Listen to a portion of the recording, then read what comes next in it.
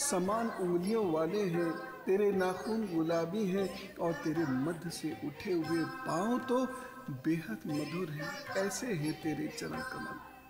हे गोपाला, तेरा नृत्य मधुर है, तेरी मित्रता मधुर है और हे मधुराधिपति, तेरी तो हर बात मधुर है। नृत्यं मधुरं, सख्यं मधुरं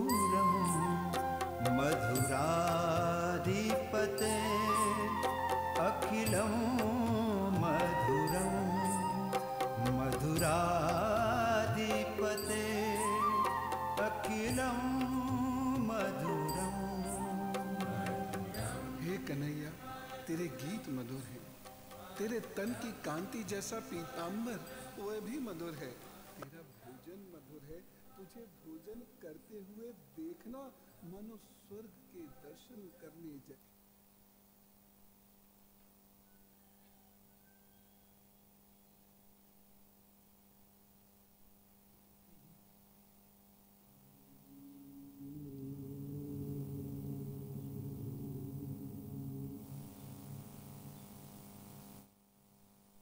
माँ भारती को प्रणाम। अपने और आप सबके गुरु माता पिता को प्रणाम। योगेश्वर भगवान श्री कृष्ण के चरणों में प्रणाम करते हुए।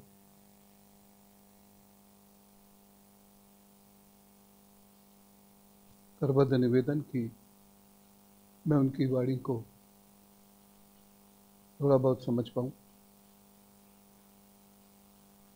आज हम महत्वपूर्ण विषय का अध्ययन करेंगे। अध्याय सोलह का अध्ययन करेंगे। नरक का और सूर्य शक्तियों को समझने की कोशिश करेंगे। और, उस सबसे पहले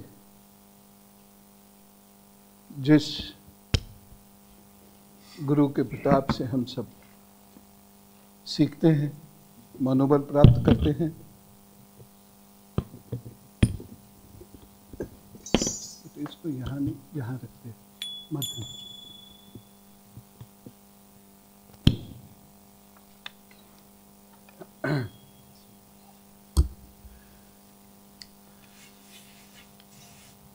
उनका अभिनंदन उनका वंदन और उनसे आज्ञा लेकर फिर हम अध्ययन प्रारंभ करेंगे।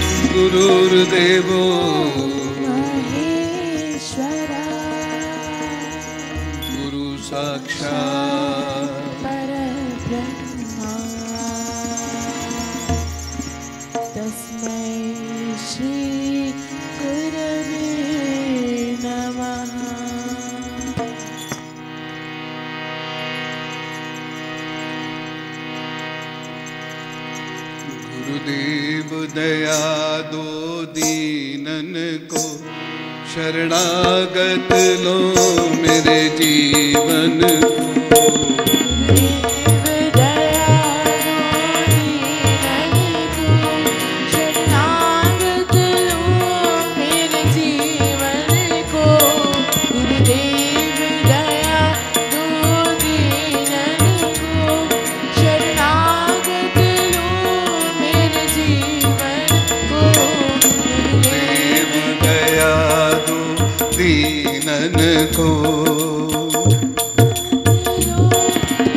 ಮಾಡೇ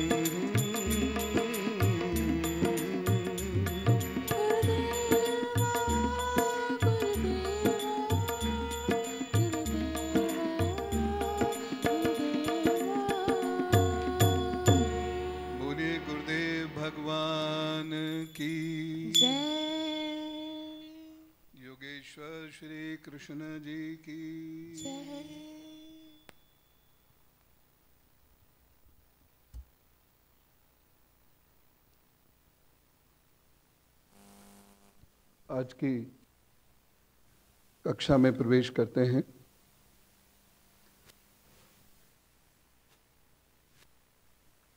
अध्याय सोलह का अध्ययन करते हैं।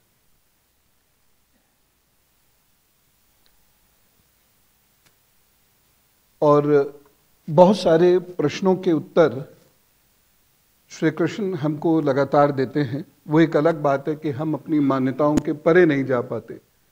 इसलिए श्री कृष्ण की जो सोच है, उसको हम समझ नहीं पाते। और श्री कृष्ण ने हम क्यों नहीं समझ पाते, आज उस विषय पर भी बात की तो हम उसको समझने की कोशिश करेंगे। वॉल्यूम बढ़ाइएगा गले पे ज़ोर पड़ रहा है। संवाद चल रहा है तेरहवें अध्याय से। जैसे पूर्व में भी चलता है। और यहाँ सीधे भगवान बिना किसी प्रश्न के सीधे उत्तर दे रहे हैं। कैसे? श्री कृष्ण कहते हैं, भय का सर्वथा अभाव। मनुष्य को भयहीन होना चाहिए। यदि वो भयातुर है तो उसको अपने भगवान पर विश्वास ही नहीं है। खुद सोच के देखिए। मैं मैं कह रहा हूँ, इसलिए मत सोचिए। खुद सोचिए। इस व्यक्ति को जीवन मृत्यु का, लाभ हानि का बहुत अधिक भय होता है। कॉन्शियसली चलना एक अलग बात है। लेकिन एक्स्ट्रा कॉन्शियस जब व्यक्ति हो जाता है तो इसका मतलब उसको अपने भगवान पर विश्वास नहीं है। तो कहता कुछ भी रहे, लेकिन उसके अंदर कर्ता भाव है, डुअर का भाव उसके अंदर है आई एम द डुअर अन्यथा वो भगवान पे चिंता छोड़े, अपना कर्म करे, अपनी कैलकुलेशंस करे और अपने मार्ग पे आगे बढ़ जाए। मैं ये नहीं कर सकता, मैं ये इसलिए नहीं कर सकता तो ये कर लो, ये मैं इसलिए नहीं कर सकता तो ये कर लो, ये मैं इसलिए नहीं कर सकता तो ये कर लो तो ये इसलिए नहीं कर सकता। जब कुछ ही नहीं कर सकते तो पूछते क्यों? युद्ध में जाते क्यों हूँ? अगर लड़ना ही नहीं है तो युद्ध गए क्यों? रथ पे थे, कूद के भाग जाते। लेकिन डटे हुए हैं, इसका मतलब कुछ करने की इच्छा है। और कुछ नहीं तो श्री कृष्ण सखा से कब गुरु और गुरु से भगवान हो रहे हैं, उसी के प्रताप से, उसी के तेज से वह अपने रथ पर टिके हुए हैं। और यही मनुष्य धर्म की स्थापना करते हैं। बाकी तो गृहस्थी भी नहीं चला पाते। तो जो जो मनुष्य भयातुर रहता है, भयांक्र, भयांक्रांत रहता है ऑलवेज फियरसम इसका मतलब साफ़ है कि वो ढोंग करता है, लेकिन विश्वास ईश्वर पर उसको नहीं है। अन्यथा कदम बढ़ाता, निकलता और कहीं ना कहीं ईश्वर उसकी मदद करेंगे, इस विश्वास के साथ वो आगे बढ़ता तो कमज़ोर व्यक्ति ईश्वर का भक्त नहीं हो सकता, वो ईश्वर के गीत गा सकता है, लेकिन ईश्वर से उसको भक्ति नहीं मिलेगी। श्री कृष्ण ने कितना स्पष्ट कहा था, याद होगा आपको। हज़ारों लोग मुझमें बसते हैं। मैं सब में बसूं ये आवश्यक नहीं। है तो ये जो बहुत सारी आजकल बातें चलती हैं कि कलयुग में भगवान जी ऐसे खड़े खड़े दर्शन दे देते हैं कलयुग में फला भगवान जी दर्शन दे देते हैं, फला भगवान जी और एक दो श्लोक उद्धृत कर देते हैं, वो कहाँ से श्लोक बनते हैं, आते हैं, ये पता नहीं। क्या हम उनको शास्त्र मान पाते मान पाते हैं, शास्त्र की परिभाषा के अनुसार, ये भी पता नहीं। लेकिन गीता पर तो कोई संदेह है ही नहीं।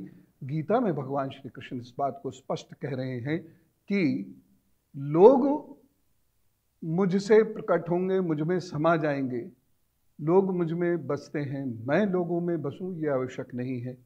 यानी भगवान ने स्पष्ट कहा है कि वह कुछ खास लोगों में बसते हैं। साफ़ कह रहे हैं भगवान। नहीं तो हर लोभी, हर लालची, लंपट सब भगवान के भक्त हो जाते, भगवान सब में बस जाते हैं आके, नहीं बसते। इसी को आगे और बढ़ाते हैं। हम निर्भय हो गए। निर्भय होने का मतलब घमंड नहीं होना चाहिए। निर्भय होना एक अलग बात है। विनम्रता के साथ निर्भय रहना और अपने हर कार्य के लिए क्षमामदेही, जो हम लोग अक्सर कहते हैं हर चीज़ में लिखते हैं या कहते हैं। तो वह क्षमा तो इससे ज़्यादा तेज नहीं हो सकता क्या? तो हम क्षमा मांगते रहें, लेकिन निर्भयता के साथ आगे बढ़े। निर्भयता का मतलब गलत काम करना नहीं। भय, निर्भयता समझने की आवश्यकता है, जो मेरी थोड़ी बहुत बुद्धि कर रही है। मैं उसके आधार पर समझाने की कोशिश करता हूँ। निर्भय, ऐसे तो कह दें भय का अभाव। लेकिन यह भय क्या है? कोई चीज़ हो ना जाए, उसके होने से पहले ही संदेह उत्पन्न हो जाना और अपने आप को कवच करना शुरू कर देना। या अपने आप को प्रोटेक्ट करना शुरू कर देना। यह भय मृत्यु का भय सबसे सरल है इसे समझना। मृत्यु का भय। अभी तो मृत्यु आई नहीं, लेकिन अभी पैसा जोड़ रहे हैं। अभी से हम घर जोड़ रहे हैं और इतना जोड़ रहे हैं कि उसकी चिंता में इतने घुल गए कि अब वो जल्दी आएगी। ईश्वर पर विश्वास नहीं है। हमें अपनी संतान और अपने लोग पर भी विश्वास नहीं है। हमें प्रत्येक अस्तित्व पर भी विश्वास नहीं है। यानी हम ईश्वर की कायनात पर, ईश्वर की सृष्टि पर बिल्कुल विश्वास नहीं करते। इसलिए हम सारी ज़िम्मेदारी लेते हैं और फिर कहते हैं, जो करता है, सो ईश्वर करता है। ये ढोंग है। हर व्यक्ति अपने आप में उतना ही अस्तित्व है जितना मैं। ईश्वर की उस पर उतनी ही कृपा संभव है जितनी मुझ पर है। लेकिन अभी आपके अंदर संकल्प आ रहा होगा धीरे धीरे पीछे खिड़कियों से। लेकिन कमरे से बाहर जाते ही फिर छू। आई एम द डूअर मुझे ये करना है, मुझे वो करना है, मुझे उसके लिए ये करना है। पर पोते के लिए अगर छह कमरों का मकान नहीं किया तो जीवन बेकार हो गया। क्या कहेगा? परदादा ने कुछ नहीं किया। यानी मैं पर पोते पर जो ईश्वर का अस्तित्व है, वो भी ईश्वर का उतना ही बड़ा अंश है, उस पर मुझे विश्वास नहीं है। यानी मुझे ईश्वर पर ही विश्वास नहीं है। ईश्वरवास्य साफ़ कहता है, जिस मनुष्य को स्वयं पर विश्वास नहीं होता, उसे ईश्वर पर भी विश्वास नहीं होता।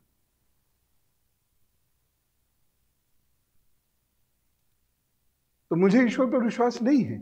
इसीलिए मैं जोड़ रहा हूँ बाकियों के लिए। न्यूनतम दायित्व का पालना, ये मेरा कर्तव्य है, उसके अधिक मेरा कोई कर्तव्य नहीं आगे ईश्वरीय इच्छा।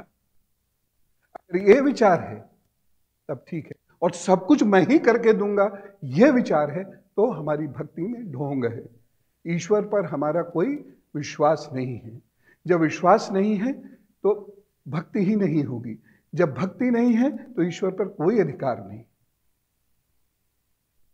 और इसीलिए ईश्वर साफ़ कहते हैं, चार प्रकार के भक्त होते हैं। और मैं केवल उसी भक्त को मानता हूँ, जो सर्वस्व अर्पण मुझ पर कर देता है। समर्पण। एक शब्द में कहते हैं, समर्पण। और लोग मुझमें बसे, मैं किन में बसता हूँ, ये अलग बात है। सब में नहीं बसता हूँ। नहीं तो हर तीर्थ यात्रा पे जाने वाला व्यक्ति तीर्थयात्री थोड़ी होता है, टूरिस्ट भी तो होता है। पर्यटक। घूम के आए, कैसा है हरिद्वार? घूम के आए, कैसा है वृंदावन? पर्यटन भी होता है। अगर पर्यटन नहीं होता तो बड़े बड़े होटल्स या कंफर्ट जोन्स क्यों खुलते हैं? और अगर खुल भी गए तो हम उसमें क्यों जाते जाते हैं। इसलिए कहीं ना कहीं कंफर्ट जोन की कामना है, लेकिन ईश्वर की गोदी की कामना नहीं है।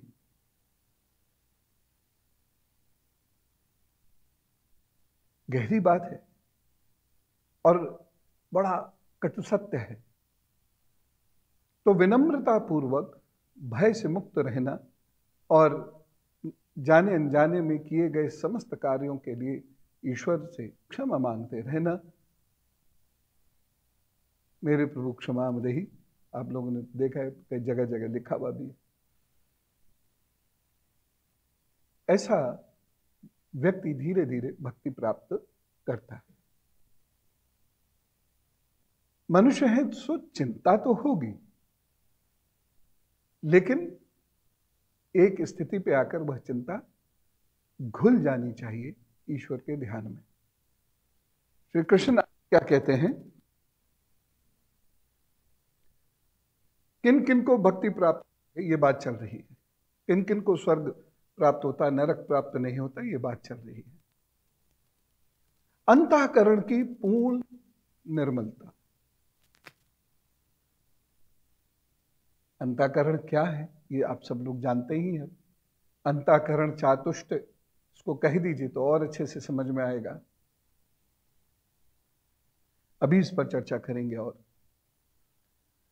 तत्व ज्ञान के लिए ध्यान योग में निरंतर दृढ़ स्थिति।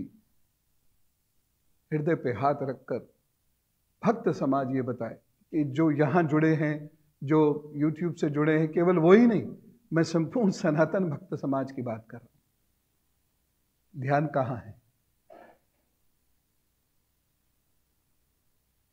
ध्यान कहाँ है? रम कैसे रहे हैं? जब ध्यान ही नहीं है तो रमेंगे नहीं। अपने इष्ट में रमना संभव ही नहीं हो सकता, क्योंकि जिस वक्त हम ध्यान के लिए बैठेंगे, ईश्वर के अलावा सब चीज़ें याद रहेंगी। इसलिए क्रियाशीलता हमारे को ज़्यादा प्रभावित करती है। दीपक जला लो, अब फल ले आओ, अब फूल ले आओ, अब उसकी डांट लगाओ, अब उससे धागा मंगाओ, अब धागा लेके एक किलोमीटर घूम के आओ अब नारियल चढ़ाओ, अब नारियल मत चढ़ाओ, अब नारियल का समय निकल गया है, अब पानी चढ़ाओ। ये क्रिया हो रही है। इस क्रिया में मन लग रहा है। भक्ति नहीं हो रही। कैसे होगी? आप एक बड़े प्रसिद्ध तीर्थ में जाके लाइन में लगे हैं और पीछे से कोई धक्का मार रहा आप तो आए ध्यान में और ध्यान में तो पीछे से धक्का लग गया। भक्ति कहाँ होगी? नहीं सकती शोर, भक्ति कहाँ से होगी? हो ही नहीं सकती। चाट पकौड़े की ठकाठक भक्ति से होगी। मन एक महत्वपूर्ण, जो हमारी इंद्रिय है, ये उधर चलेगी। भक्ति कहाँ से होगी? क्योंकि वहाँ एकांत नहीं, वहाँ शोर है। और कैसा शोर है? विप्लव वाला शोर है। वह भजन का शोर नहीं है, भजन की मधुर तान नहीं है। जो आप अनाहद जागृत करे, वह शोर है, विशुद्ध शोर है। मैंने इसलिए यहाँ जगह जगह लिखा है। हुआ यद्यपि मैं भी असफल रहता हूँ आप लोगों को चुप कराने में। धीमी आवाज़ में बोलो। अनाहत जागृत और जितना लाउड होते चले जाओगे, कई लोग मिलकर जितने लाउड होते चले जाएँगे, उतना ध्यान हटेगा। क्रिया में मन लगेगा, क्योंकि क्रिया में आपको ध्यान नहीं करना है। ध्यान टफर है। नेक्स्ट लेवल की चीज़ है। ध्यान लगना ही नहीं। क्रिया में मन बहुत लगेगा। तो क्रिया करने के बाद ध्यान कर लीजिए, तब जाने का समय हो जाएगा। या खाने का समय हो जाए, या थक चुके होंगे। इसलिए श्री कृष्ण लोगों को प्राप्त नहीं होते हैं। गाने गाते रहो, कथा सुनते रहो, सुनाते रहो। थोड़ी देर के लिए भक्ति भाव का जागरण अवश्य होगा आप में। जो कथा मनीषी हैं, उनको सुनकर, लेकिन उसके बाद फुर्र से क्योंकि वह आदत नहीं है। तत्व ज्ञान के लिए ध्यान योग में निरंतर एक दृढ़ स्थिति चाहिए होती है, वो नहीं प्राप्त होती। दूसरी बात है, सात्विक दान। जिस दान के पीछे कामनाएँ होती हैं, वह सात्विक दान नहीं होता। आजकल ऐसे ही होता है ना। कामनाएँ ज़्यादा होती मैं यहाँ उपस्थित जनसमूह की बात नहीं कर रहा हूँ। मैं सामान्य बात कर रहा हूँ। आपके मित्र, रिश्ते, नाते, सब। सभी की बात कर रहा हूँ। मैं स्वयं भी इसमें शामिल हो बात कर रहा हूँ। मैं अलग नहीं हो रहा, मैं एक्सक्लूसिव नहीं हो रहा मैं इंक्लूसिव पॉपुलेशन की बात कर रहा हूँ। वो तो है ही नहीं। इंद्रियों का दमन ये भी कठिन है।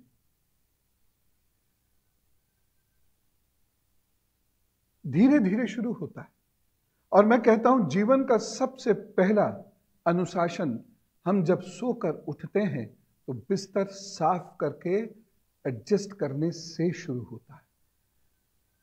हमने चप्पल कैसी रखी, हमने बिस्तर तय किया कि नहीं किया। पुरुष तो क्या हुआ? क्या स्त्री की ज़िम्मेदारी है बिस्तर साफ़ करना सफ़ाई उसको समेटना? यहाँ से अनुशासन प्रारंभ होता है।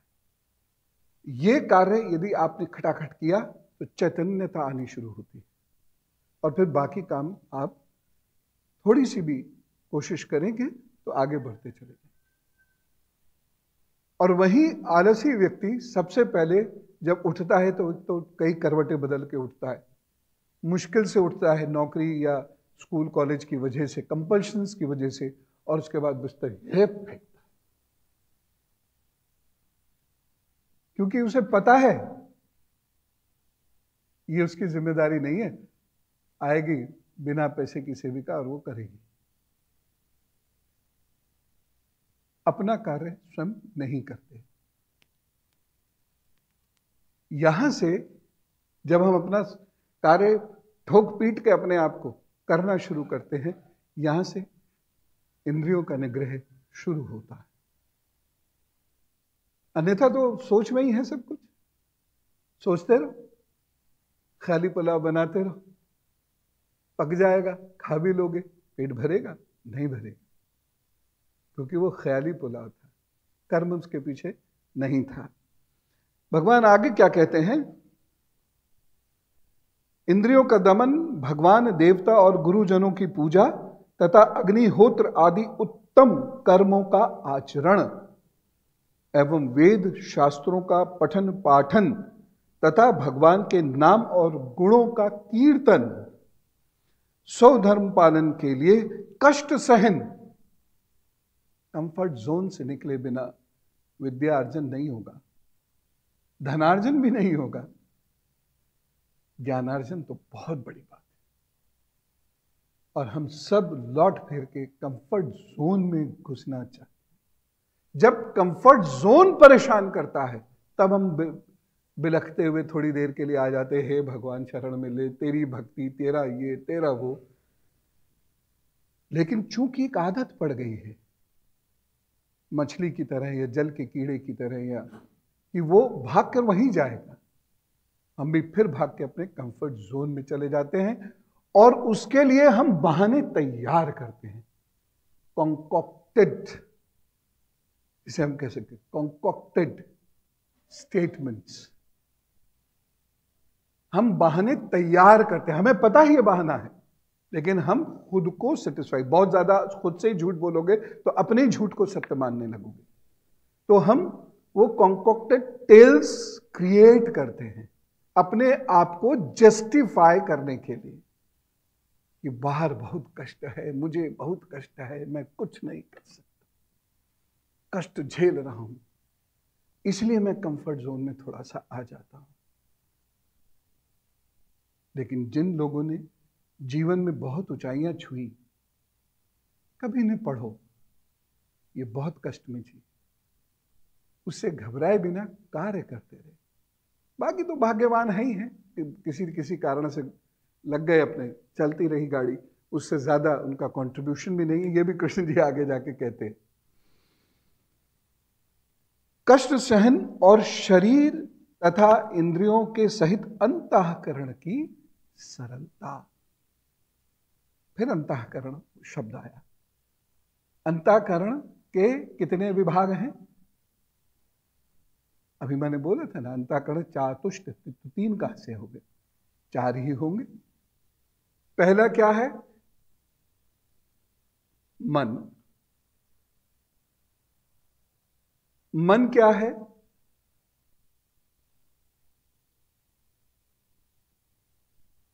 डिफाइन कीजिए। मन क्या है? मन होता कहाँ है? मन रहता कहाँ है? अब ये मत कहना आत्माराम हड्डी के अंदर रहता है। ये, ये सब सुनने के लिए नहीं है। श्री कृष्ण का अध्ययन ये सब गप सुनने के लिए नहीं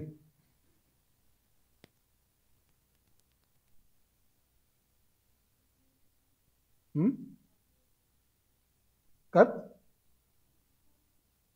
अच्छा कितों का है? मैं आपको पाँच लाख लोग का सर्वे करने को देता हूँ, जरा बताओ कितनों का है? शायद एक आध का निकला है तो कह नहीं सकता मैं। मन ईश्वर में जिसका रह ले, वह तो सिद्ध हो जाता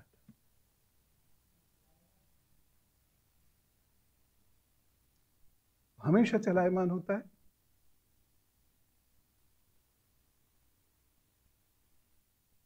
उसी को तो स्थिर करना है। यानी स्थिर हो सकता है, उसके अंदर ये वर्च्यू है। अगर ये वर्च्यू होता ही नहीं तो कृष्ण इसके बारे में बात ही नहीं करते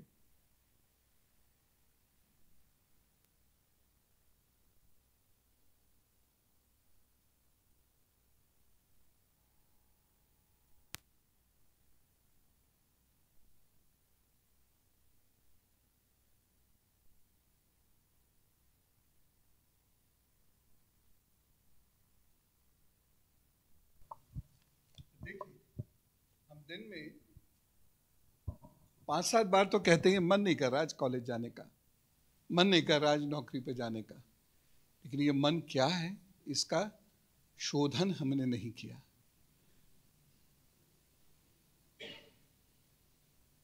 नहीं तो 25-30 साल का जीवन जीने के बाद एक सटीक परिभाषा निकलकर सामने आनी थी। इसका मतलब हम कितना कम सोचते हैं। हमें कितनी कम गहराई और हम बात करते हैं आस्था और भक्ति की।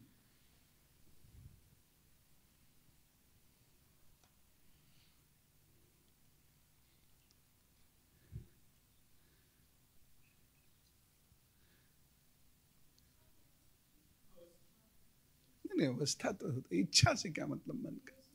सटीक उत्तर चाहिए।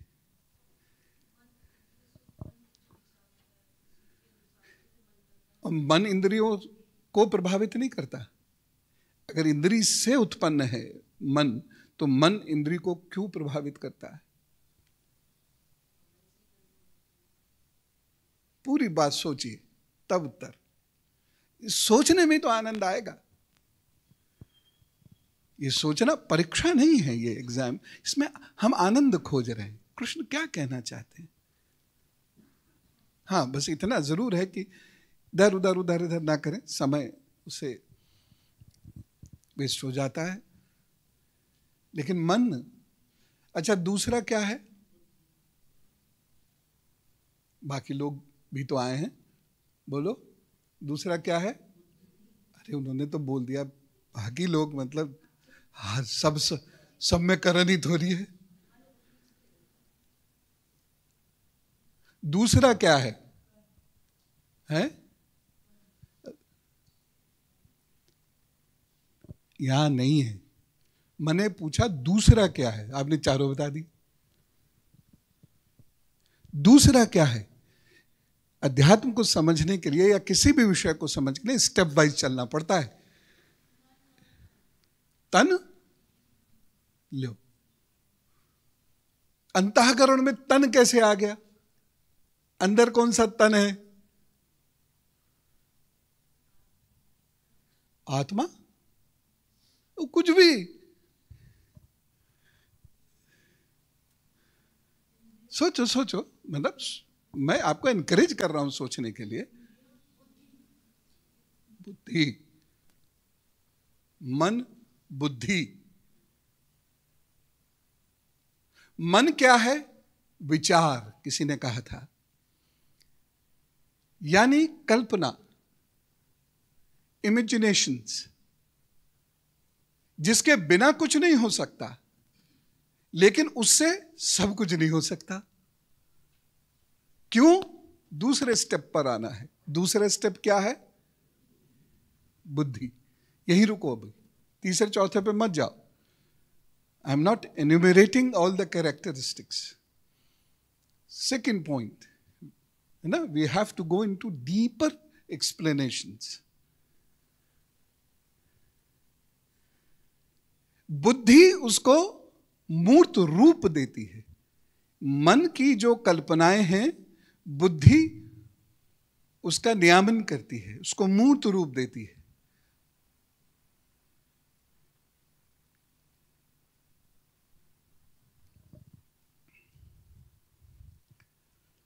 मूर्त रूप देती है, इसका क्या अर्थ हुआ? हा? अभी ज्ञान नहीं आया है। मूर्त रूप हुआ है, कल्पनाओं का मूर्त रूप, यानी, है? मैं कहूँ कि शरीर में बुखार है, इसका मतलब क्या हुआ? तो अनुसैया कहेगी, फीवर है। हैं? मूर्त रूप कल्पना करना।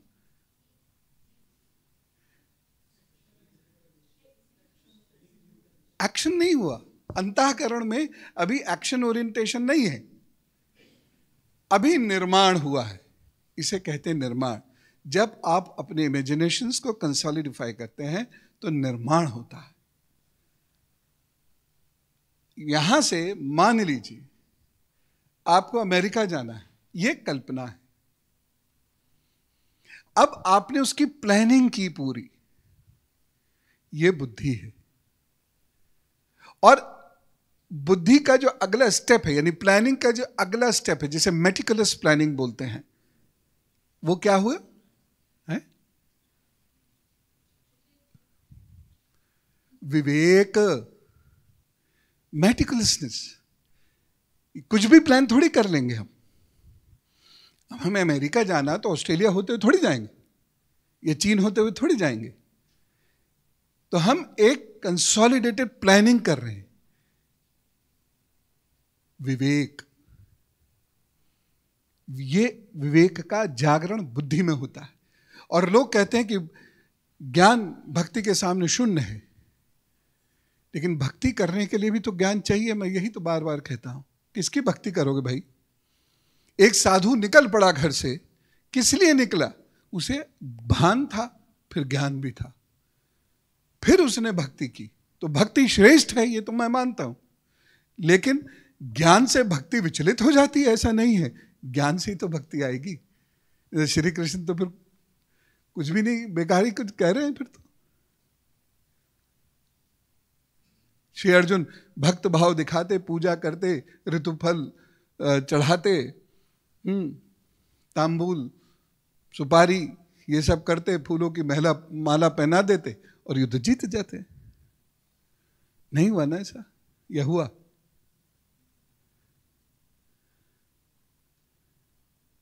इसका मतलब क्या कर्म करना है उसका ज्ञान? तो बुद्धि से निर्माण होता है और सही निर्माण हो इसके लिए विवेक चाहिए। इसलिए विवेक बुद्धि का इंटीग्रल पार्ट है।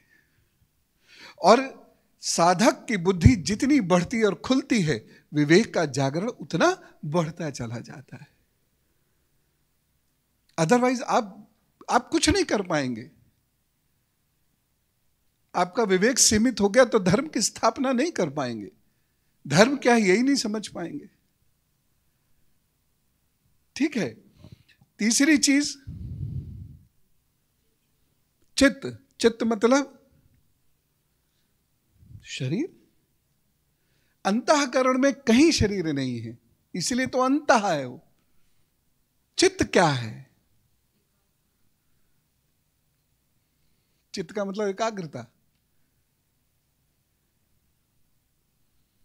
तो चित्त की वृत्तियाँ क्या हैं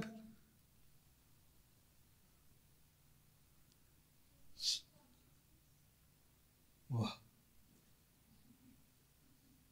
मतलब कॉन्शियसनेस नहीं है। चित consciousness is the translation of chitta ऐसा तो कह सकते हो। मतलब कैसे हो गया? एक्सप्लेनेशन कॉन्शियस को एक्सप्लेन करो अच्छा फिर।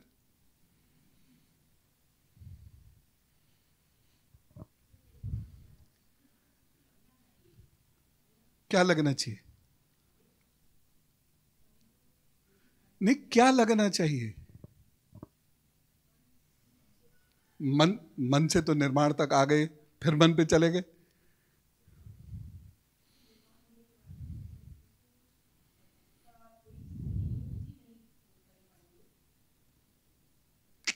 ऐसे नहीं। जो श्री कृष्ण के भक्त हैं, वो श्री कृष्ण के स्टाइल में बोले। है, क्या लगना चाहिए? ध्यान? नहीं। आप उसे क्रिया में ले क्यों आए भाई? चित्त का अर्थ पूछ रहा हूँ मैं। है? क्या? अरे एक बोल लो हाँ। हिलता है? हृदय। चित्त मतलब हृदय। और हृदय तो एक लिंब हुआ। शरीर का हिस्सा है हृदय, जिसमें पंपिंग हो रही है। वॉल्व्स हैं, आर्टरीज हैं, वेन्स हैं। हम अंताकरण में कह रहे हैं कि वहाँ कोई पार्ट ऑफ़ बॉडी है ही नहीं।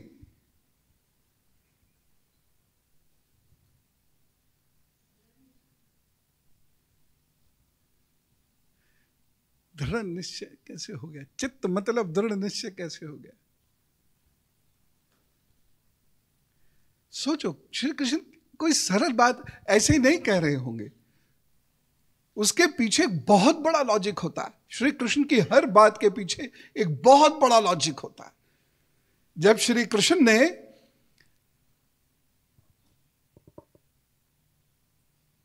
इंद्र के आदेश की अवहेलना की है तो एक बहुत बड़ा लॉजिक है। और उसकी तैयारी करते हैं वो। यानी गोवर्धन, श्री कृष्ण ऐसे ही नहीं समझ सकते। मैं मैं भी समझा नहीं हूँ। प्रयास प्रयास कर रहा हूँ। लेकिन चित्त का अर्थ क्या है? ये बताओ। भटक जाएँगे धर चित्त का अर्थ है स्वभाव। कैसा? जो संस्कार से उत्पन्न हुआ है। यानी जब हम एक कार्य को निरंतर, लगातार करते रहते करते रहते करते रहते करते रहते तो वह संस्कार बन जाता है।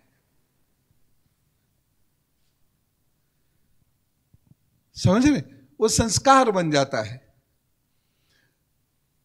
तो वो स्वभाव को चित्त कहते हैं।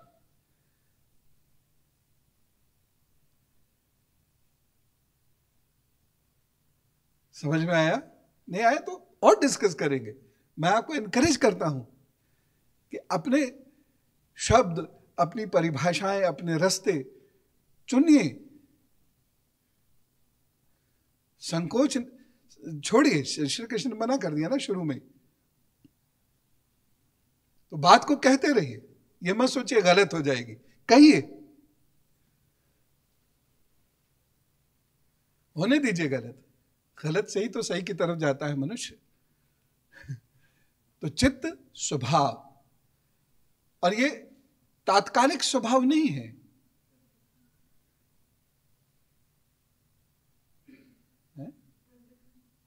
हाँ संस्कार जनित स्वभाव, यानी जो आदत पड़ गई है, ये नेगेटिव भी हो सकता है पॉजिटिव भी हो सकता है।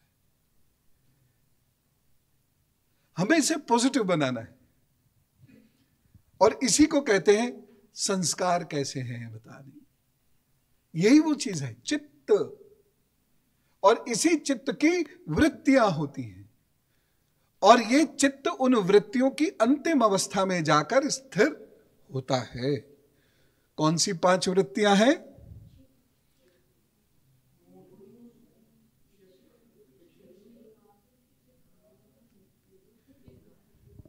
कितनी तो चार ही रहेगी।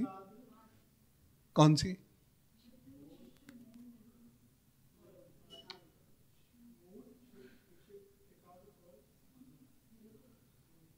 निरुद्ध हुआ। एकाग्र चौथी वृत्ति है। पांचवी है निरुद्ध। जब आप पांचवी अवस्था पर आते हैं तो संस्कार डेवलप होता है।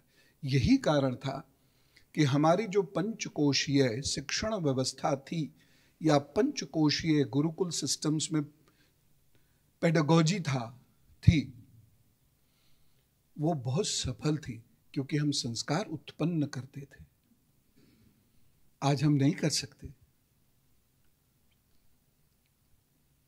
किसी बरले में हो जाए हो जाए, हम उत्पन्न नहीं कर पाते अब। क्योंकि उसके लिए क्या चाहिए? कष्ट को सहन करना। अब तो गुरु जी डरते हैं कष्ट देते हुए क्योंकि उन्हें ना कष्ट सहन करना पड़ जाए दोबारा से। हम भूल गए ना उन चीज़ों को। जो कृष्ण कह रहे हैं, हम उन्हें भूल गए।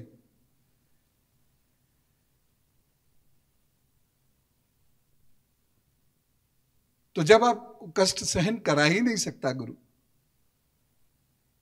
तो क्या मन, क्या बुद्धि, क्या विवेक और क्या चित्त से संस्कार? निरुद्ध अवस्था जब आ गई, यानी अब विचार थम गए। उससे ठीक पहले एकाग्र। एकाग्र का अर्थ क्या हुआ? डोंट से कॉन्सेंट्रेशन ये इसका ट्रांसलेशन हुआ। एकाग्र का अर्थ, मैंने पूर्व में भी बताया, एकाग्र का अर्थ क्या हुआ? उसके शब्द में ही ढूंढो ना। एक, अग्र, एक विचार।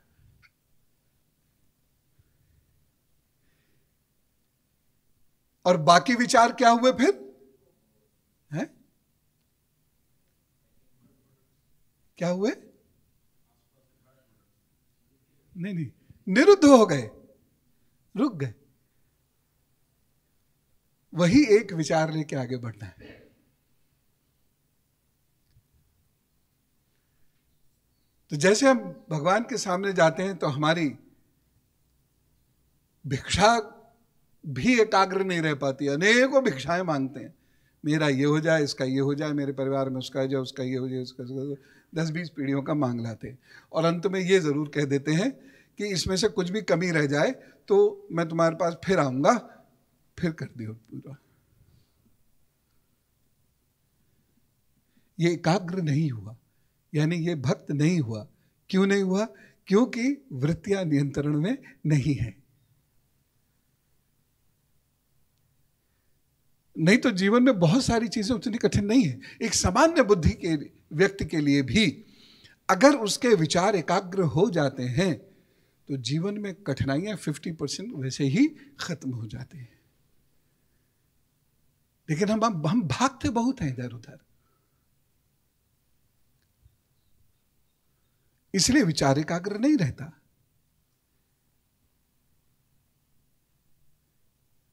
आगे बढ़ते हैं। उसके बाद चौथा चौथा क्या है? अंताकरण। अहंकार। अहंकार का अर्थ? ज़ोर से बोलिए। निश्चित होकर बोलिए। हम सब बैठे हुए बातचीत कर रहे हैं भगवान की। हाँ।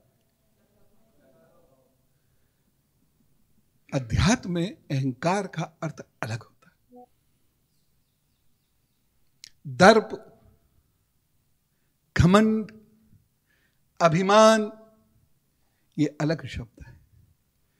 अहंकार अहम का ज्ञानी, मुझको मेरा ज्ञान।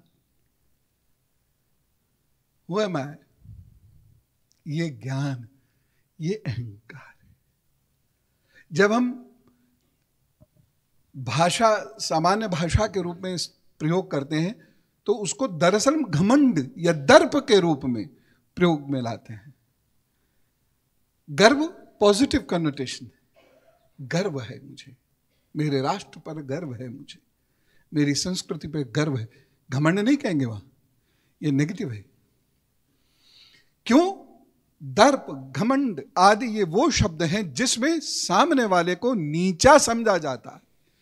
और आध्यात्मिक व्यक्ति के लिए आत्मा और उसके गुण ही श्रेष्ठता का आधार होते हैं। अन्य कोई चीज़ श्रेष्ठता का आधार नहीं होती, चाहे कोई रंग हो, चाहे कोई धर्म हो, चाहे कोई जाति हो, क्योंकि ये सब शरीर के हैं। तो हम अंताकरण की बात कर रहे हैं, हम शरीर की बात ही नहीं कर रहे। अहम अहम से बनता है। तो अगर आप इटिमोलॉजिकली देखेंगे, आज की भाषा के अनुरूप देखेंगे तो अहंकार का मतलब भी वही है रावण में बड़ा अहंकार था। उसको कहिए दर्प या घमंड। स्वयं का भान उसे होता तो वो कभी गलत रास्ते नहीं जाता, और जो रावण के बारे में सिर्फ़ एक चीज़ कहते हम, शिव का बड़ा ये था, शिव का बड़ा वो था, ये था, लेकिन बस अहंकार की वजह से मारा गया। यार, चरित्रहीन था वो। उसको स्वयं का भान ही नहीं था। क्या किया उसने वेदवती जी के साथ?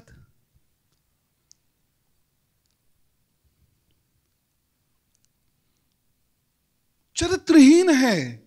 केवल वो घमंड ही नहीं है उसका। केवल वो दर्प ही नहीं है।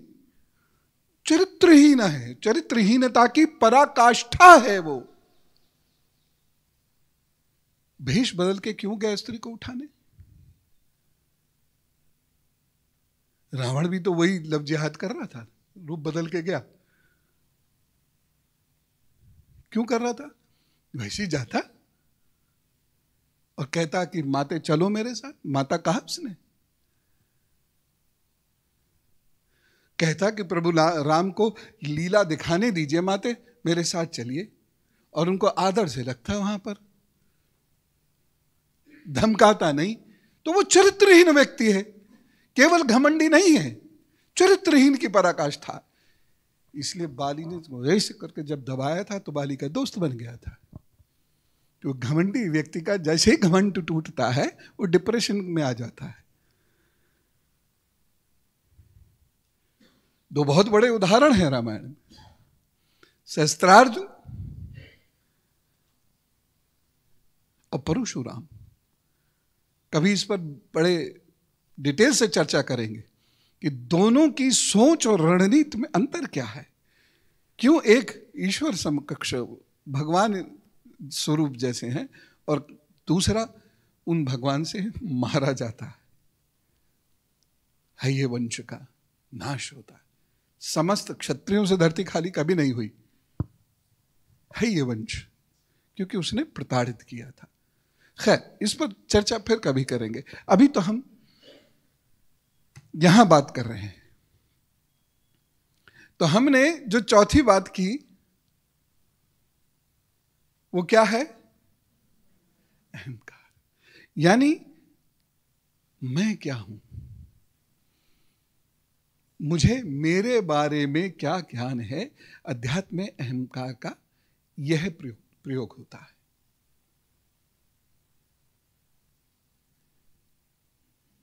है ना? शब्द में कितना दम होता है और उसी का अगर हम गलत प्रयोग करेंगे तो हम नुकसान उठाएँगे। भाषा पर इसलिए पकड़ होना ज़रूरी है। भाषा को लेट गो जैसी चीज़ नहीं करनी चाहिए। अब सामने कोई चला जा रहा है, अचानक एक बहुत बड़ा बहुत बड़ा गड्ढा आया, खाई जैसा आया। पीछे से कोई पूछ रहा है, पीछे से कोई बोला, खाई है। जो चल रहा है उसके लिए उस शब्द का अर्थ दूसरा है। बोले हाँ चार पूरी खाई है। वो कह रहा, नहीं नहीं, खाई है। बोले पांचवी खाने जा रहा था, लेकिन चार ही खाई है। गिर गया तो ये जो खाई है, ये केवल शब्द भेद के कारण एक जान चली गई। क्योंकि खाई है पूरी खाई है, सब्ज़ी खाई है। और वो क्या कह रहा, खाई है, यानी इतना बड़ा गड्ढा है। इसलिए भाषा पर पकड़ होनी ज़रूरी है। भाषा को समझना और उसको सही रूप में प्रयोग में लाना आवश्यक है। हम उसको बहुत लूजली यूज़ करते हैं। यह गलत है। और भारत जो अपनी भाषा के लिए विश्वविख्यात था, जिसकी दो भाषाएँ विश्व के यांत्रिक वातावरण का आधार बन रही हैं, वो भारत आज अपनी भाषा से दूर जा चुका है। मैं ये नहीं कह रहा कि उसमें उर्दू, अरबी, फारसी ये मिक्स हो गई, इसकी वजह से ये हो रहा। नहीं, जो हिंदी भी है, बोल रहे हैं हम लोग, उसके भी अर्थ बदल चुके हैं। और जिस तरीके से कॉपी चेक होती है नाइन टू ट्वेल्व बस समझ में आना चाहिए। अब किसकी क्या समझ में आएगा, कौन सी खाई समझ में आएगी, ये पता नहीं। यहाँ पर अहंकार का अर्थ है, स्वयं को जान लेना, स्वयं को समझ लेना। श्री कृष्ण और आगे चलते हैं, लेकिन उससे पहले मैं एक बात आपसे कहना चाहूँगा मन के बारे में, जब बात चल रही थी। मन एव मनुष्याणाम कारणाम बंध मोक्ष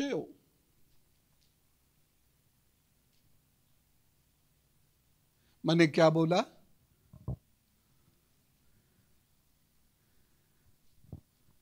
दोबारा बोलता हूँ। मन एवं मनुष्याणाम कारणम बंध मोक्षयो। और ये इतनी गहरी बात है, जिसका अर्थ पता चलेगा तो आनंद आ जाएगा। और हमें ये चीज़ें आपको लग रहा है कि ये इम्प्रैक्टिकल बातें हैं। नहीं, जिन लोगों के लिए गीता का वास्तव में अर्थ है, वो इन्हीं चीज़ों से बहुत ऊंचाइयों तक पहुँच गए। पूरे विश्व में परचम लहरा दिया। हाँ, ग्रुप नहीं था था एक ही व्यक्ति। इसीलिए पाँच को गीता का संदेश नहीं जा रहा है, एक को जा रहा है। ये मैंने पहले आपको एक्सप्लेन भी किया था। क्योंकि वो उसको समझ सकता था। तो मन ही बंधन है। और मन ही मृत्यु मोक्ष का कारक है। उस बंधन से मुक्ति का कारक भी बन है और मन ही बंधन है। अब ये हम पर निर्भर करता है। फ्रीडम ऑफ़ कर्म, यह हमको ईश्वर स्वयं देते हैं। तो आप कभी ये मत समझना कि आप हर जगह बंधे हुए हो, आप कठपुतलियाँ हो। ना। कर्म की स्वतंत्रता है। अब कौन उसका कैसा उपयोग, प्रयोग करता है, वो एक अलग बात है। तो मन ही बंधन है और मन ही बंधन से मुक्त भी है। तो इसे साधना बहुत ज़रूरी है और इसे साधने के लिए साधना करनी पड़ती और साधना का प्रारंभ होता है किससे? ध्यान से। यहीं लटक जाते हैं।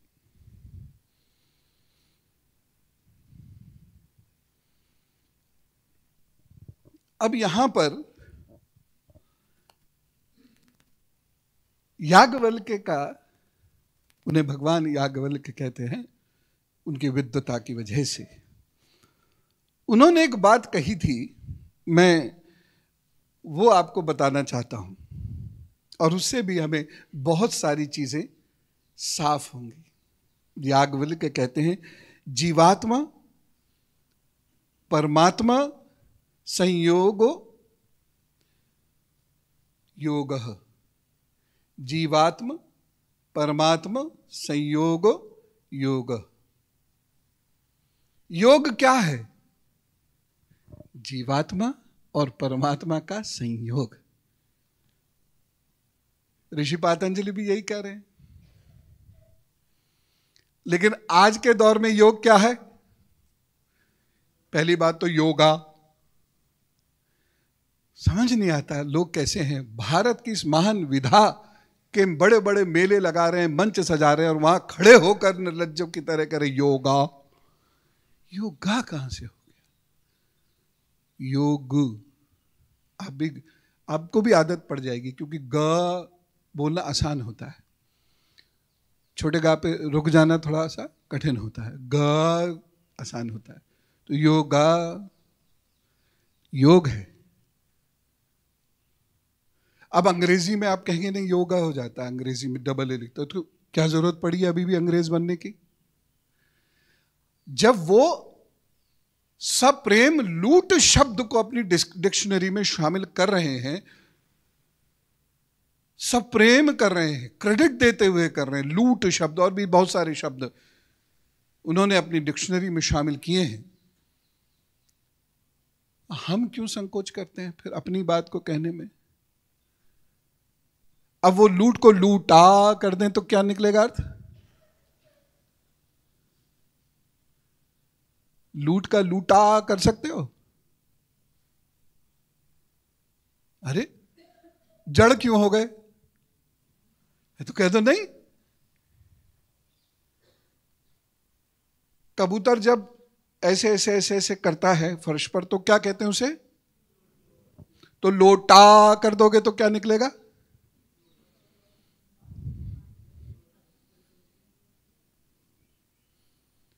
तो शब्द की कितनी महत्ता है? और यही जब हम श्लोक में गड़बड़ी करते हैं तो यही चीज़ हमारा वो स्पंदन प्रस्फुटित होना ही नहीं देता। इसलिए उस मंत्र का हमको लाभ नहीं मिलता। अब कल को आप एँगा कर दो तो। क्या ज़रूरत है मिलेट्स कहने की? कहो ना अनाज। अनाज में भी अ आ रहा है लास्ट में अनाज आ कर दो। ऐसे थोड़ी होता है। कल को किसी से कहोगे, हम उनके यहाँ जाते हैं। यहाँ? पवना। अपनी भाषा पर कायम रहो। और यही चीज़ जब हम उर्दू बोलते हैं तो गड़बड़ नहीं करते तो हमको फख्र होता है। उर्दू बोली खा ही कहा हमने? चाहे मलिदा बाहर आ गया, लेकिन कहा हमने? खा हम विद प्राइड कहते हैं इस बात को। तो फिर योगा क्यों?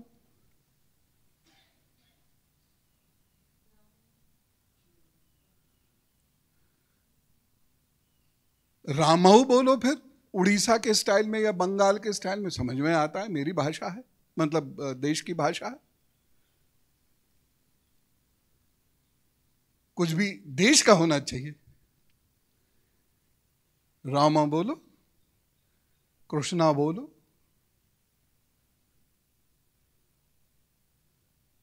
अंग्रेज़ी स्टाइल में हिंदी ये नाम नहीं देती है बेइज्जती कराती है एक्चुअली हम जैसे लोग तो को बसते बाद में।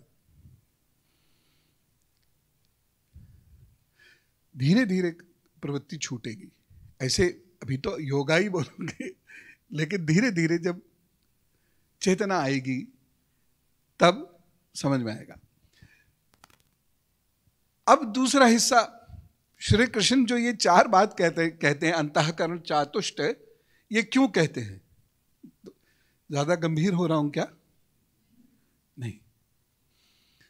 जड़ और चेतन, ये दो चीज़। हैं जड़ मतलब जैसे भजन होता है और आपसे कहा ना जाए ताली बजाओ तो आप जड़ रहते हो।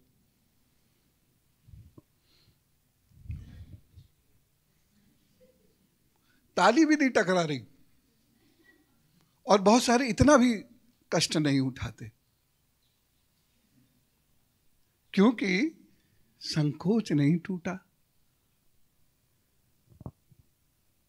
संकोच नहीं टूटेगा तो वही बुद्धि, वही मन क्या कर रहा है? बंधन में डाल रहा है। हम बड़े लोग हैं भाई, कैसे? और वही छोटा सा एक बच्चा होता है। उसका मन बंधन तोड़ देता है, वो नाचने लगता है।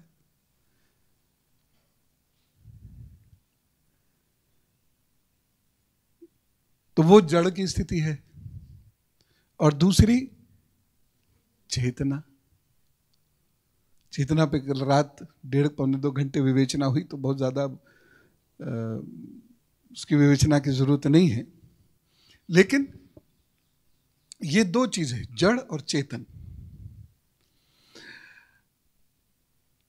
अब देखिए, ये उंगली क्या है? कल बताया था मैंने। ये उंगली क्या है? हैं? इन्हीं दो कंटेक्स्ट की बात करेंगे जड़ है। इसकी चेतना कहाँ है? मन, बुद्धि, चित्त, अहंकार। अगर चेतना शून्य है तो ये उंगली सड़ जाएगी। इसी को कहते हैं मृत्यु। यानी मनुष्य तब तक जीवित है, जब तक चेतना है।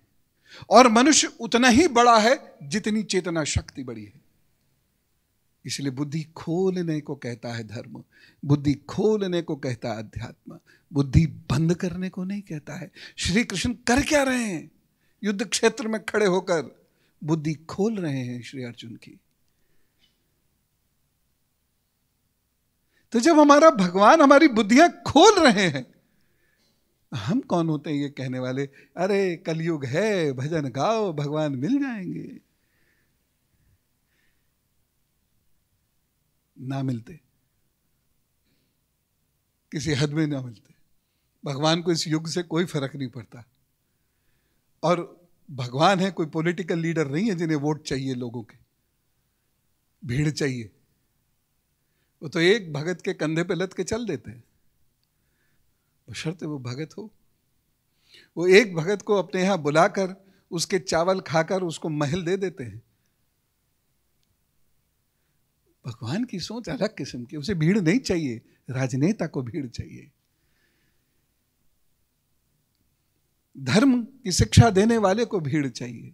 स्कूल के टीचर को और स्कूल को भीड़ चाहिए। भगवान को नहीं चाहिए, उसे भक्त चाहिए। और उसके पैरामीटर्स कभी नहीं बदले। सतयुग में भी वैसे ही थे, कलयुग में भी वैसे ही। तो ये कहना कि वो बदल जाएँगे, अब मैं कुछ भी करूँगा तो वो आ ही जाएँगे। मैंने एक बार कह दिया, हनुमान जी हनुमान जी की अब मजबूरी है, बेचारे आएँगे क्योंकि अब उनके पास भक्त नहीं बचे। ये क्या बात हुई भाई? ऐसा हो सकता है। अच्छा सोच के देखो।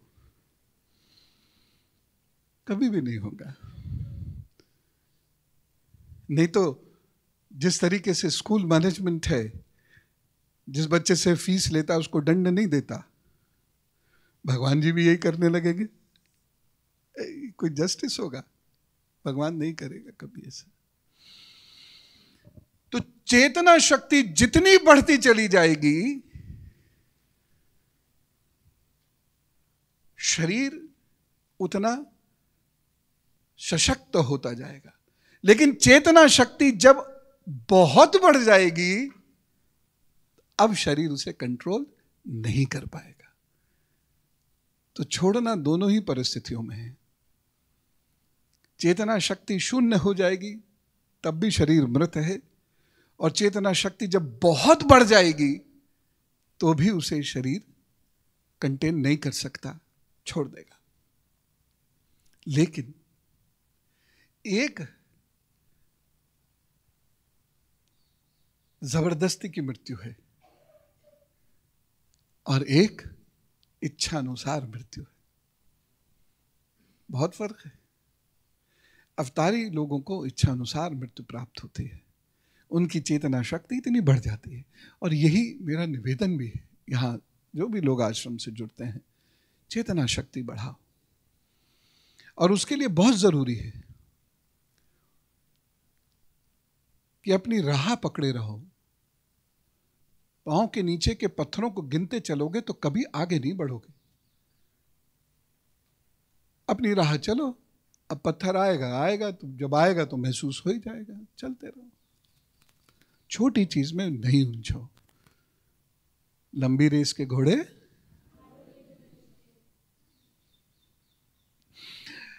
तो ये चीज़ श्री कृष्ण समझा रहे हैं। अब इसको और एक्सप्लेन करते हैं भगवान। मैं सोचा था, अध्याय सोलह आज पूर्ण करूँगा, लेकिन मुझे बड़ा आनंद आ रहा है। आपका पता नहीं। आप फौज में, मैं मौज में। अब भगवान क्या कहते हैं?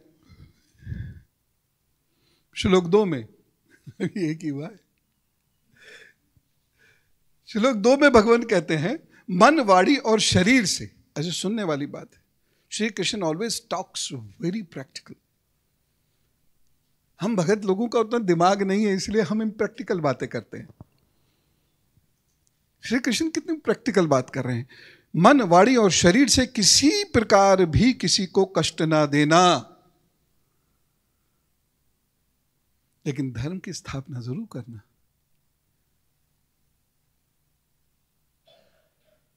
उसके आगे क्या कह रहे हैं?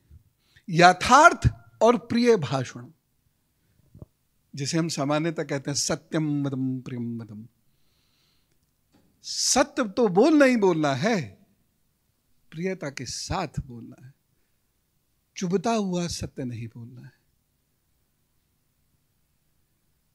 महाराज, आप एक टांग से चल नहीं पाते हैं। यथार्थ बताते हुए सत्य भी बोले, प्रिय भी रहे। हमने उसका मज़ाक नहीं उड़ाया। लेकिन हमने उसे सत्य भी बताया, यथार्थ भी बताया। तो ये श्री कृष्ण कहते हैं, आगे कहते हैं, अपना उपकार, अपना अपकार करने वाले पर भी क्रोधित ना होना। कठिन अवस्था है, लेकिन भक्त धीरे धीरे प्राप्त कर लेता है जीवन में कभी ना कभी। उसके बाद कर्मों में कर्तापन के अभिमान का त्याग।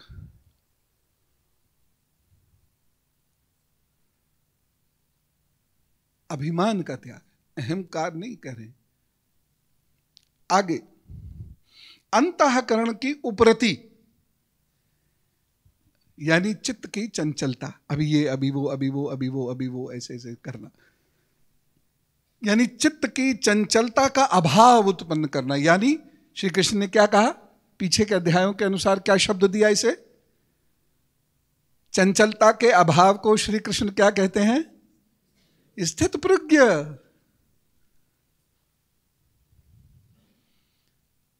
देखो विद्यार्थियों, हम सब श्री कृष्ण के विद्यार्थी हैं। जो श्री कृष्ण क्लास में पढ़ा रहे हैं उनकी क्लास रथ पर लग रही है। अब हमारा ये कर्तव्य बनता है कि हम उसका रिविजन भी करें।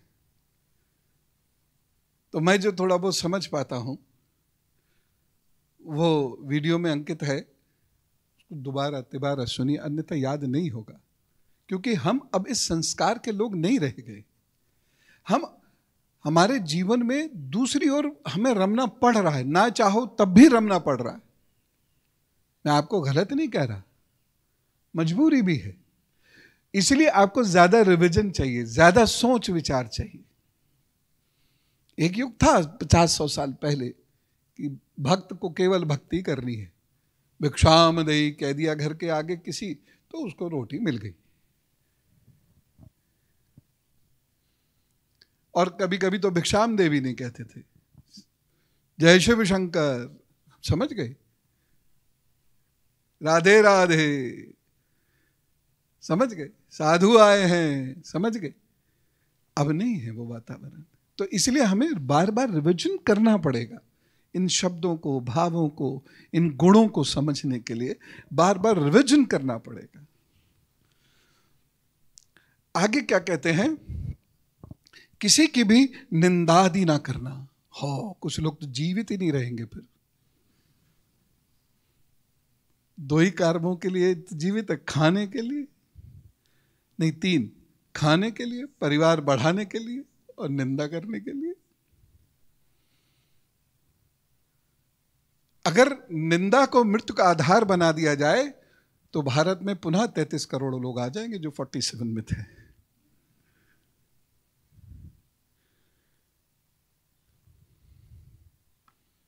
बहुत कठिन है। बिना निंदा किए रहना बहुत कठिन है। ऐसी मरोड़े उठती हैं पीठ में।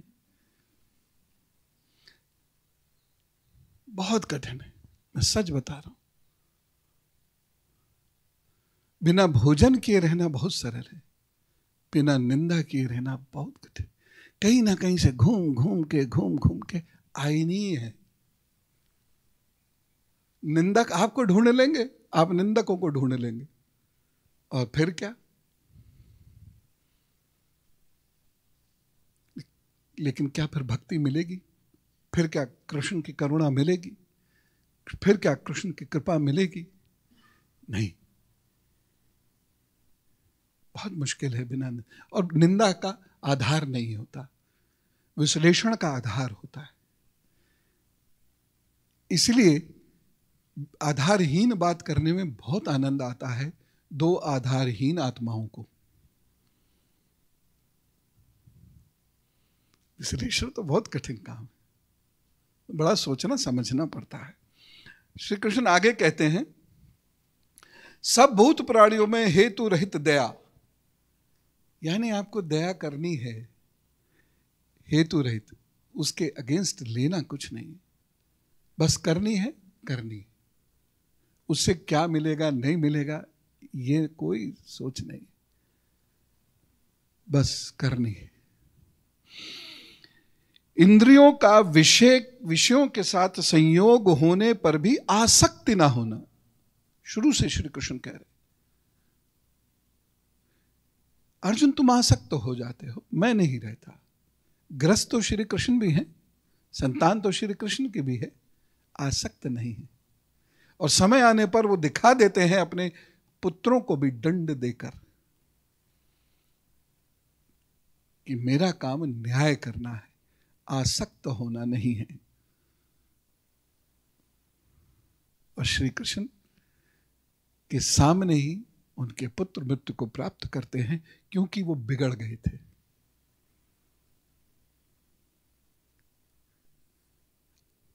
आगे कहते हैं, कृष्ण, कोमलता लोक और शास्त्र से वृद्ध आचरण में लज्जा और व्यर्थ चेष्टाओं का अभाव।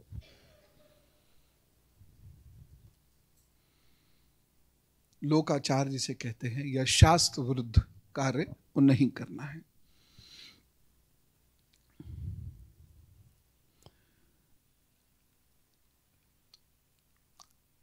चौथा श्लोक, इसको ध्यान से सुनिए जरा। दंभ घमंड, जिसकी बात मैं अभी कर रहा था, और अभिमान, तथा क्रोध, कठोरता और अज्ञानता भी, ये सब असुरी संपदा को लेकर उत्पन्न हुए पुरुष के लक्षण हैं। यदि ये चीज़ें हैं हमारे अंदर तो हमें किसी एक्सटर्नल एडवाइजर की आवश्यकता ही नहीं है। यदि ये हमारे अंदर चीज़ें हैं तो आप अपने आप ही अपने पैरामीटर्स को चेक कर लीजिए। आप असुरी हैं या दैवी है? श्लोक तीन में वो दैवीय संपदा की बात करते हैं, और जिसमें वो नहीं है, और ये है दंभाचरण आदि दुर्गुण है वह असुरी संपदा युक्त हैं। और कृष्ण जी, एक चीज़ और कितनी आराम से कहते हैं कि जो असुर है, उनकी चिंता ही मत कर, मरने दे। अपनी चिंता कर, क्योंकि तू दैवीय संपदाओं से युक्त है। मुझे नहीं पता आप में से कितने लोग अध्यात्म पथ पर प्रखरता से आगे बढ़ना चाहेंगे आगे। मैं नहीं जानता। लेकिन जब आप आगे बढ़ेंगे तो इसे अनुभव करेंगे। वो निष्ठुरता नहीं है।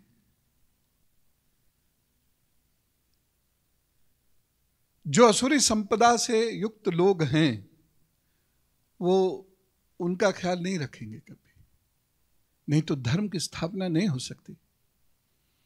वो निष्ठुरता नहीं है। वो न्याय है। तो आपको ये चीज़ धीरे धीरे तब समझ में आने लगेगी, तब आप आसक्ति से दूर जा पाएँगे। हाँ ये ज़रूर है कि कुछ समय संसार में मिसफिट हो जाएँगे। फिर संसार आपको सिखा देगा, संसार में फिट होना। तो दोनों जगह थोड़ा थोड़ा बैलेंस बन जाएगा। लेकिन जब आप उस मार्ग पर चलेंगे, अनुभव तभी होगा, अन्यथा नहीं होगा, सोचने से नहीं होगा।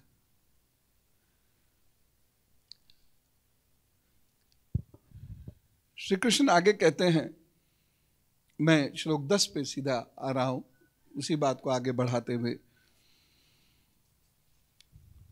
भ्रष्ट आचरणों को धारण करके अज्ञानी लोग ऐसे ही विचरते हैं। और जो लोग दंभ मान आदि मद से चूर होकर कुछ कामनाओं के पीछे भागते हैं, श्री कृष्ण डिक्लेयर कर रहे हैं, उनकी वो कामनाएँ कभी पूरी होती ही नहीं। इसलिए सीधे रास्ते चलो ना। होंगी तो ठीक, नहीं होंगी तो ठीक, ये मेरे हाथ की, आपके हाथ की, किसी के हाथ की बात तो है नहीं, हमारे हाथ में तो कर्म करना है। कर ले तो। फल देना श्री कृष्ण के हाथ में है, वो जाने। तो वो कह रहे हैं कि कामनाओं के पीछे आप भाग भी रहे लेकिन आपका जो आचरण है वो उपयुक्त नहीं है। तो कामनाओं की पूर्ति तो होनी से रही। भटक और गए जीवन और छूट गया। अब इसी चीज़ को वो श्लोक पंद्रह सोलह में कितने सुंदर तो सहजता के साथ समझा देते हैं। देखिए श्री कृष्ण का गुण। That's why I call him a public teacher one of the best public teachers the world might have witnessed वो क्या कहते हैं? मैं बड़ा धनी, मैं बड़े कुटुंब वाला, मेरे समान दूसरा कौन है? मैं यज्ञ करूँगा, मैं दान दूँगा, मैं अमोद प्रमोद करूँगा।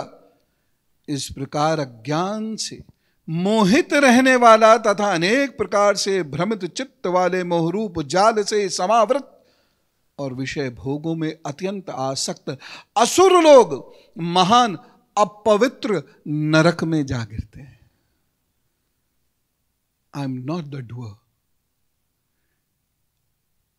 मैंने जीवन में कुछ नहीं किया, मैं कुछ कर भी नहीं सकता। मैं क्या करता हूँ? अंताकरण की मैं से मतलब नॉट पवना मैं से मतलब सब लोग। I am not the doer मैं अंतकरण की उन चारों अवस्थाओं से, अंताकरण चातुष्ट की उस चारों अवस्थाओं से गुजरता हूँ। मन कल्पना कर रहा है, बुद्धि निर्माण कर रही है। चित्त संस्कार उत्पन्न कर रहा है और मुझे स्वयं का भान अहंकार दे रहा है। तो हम उस अवस्थाओं से गुजर रहे हैं। हम कुछ भी अलग नहीं कर रहे। हम गुजर रहे हैं, ये भी हम नहीं कर रहे। हम गुजर नहीं भी सकते हैं। कोशिश कर रहे हैं। हम सिर्फ़ कोशिश कर रहे हैं। इसलिए कभी भूल के मत कहना, मैंने ये किया। ऐसे व्यक्ति का नाश तय है। ऐसे व्यक्ति का अभिमान तय है। ऐसे व्यक्ति का हाथ से उड़ना तय है।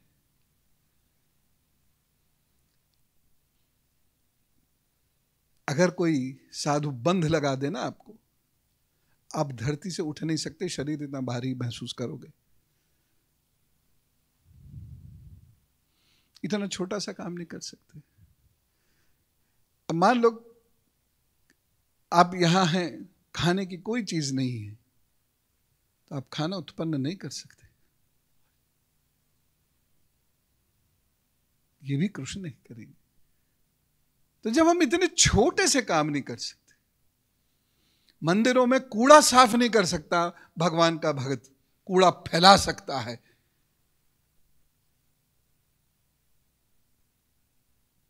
नहीं तो मंदिरों में, आश्रमों में कूड़ा साफ़ करने वाले रखनो लोगों पर क्या खर्च करना चाहिए था?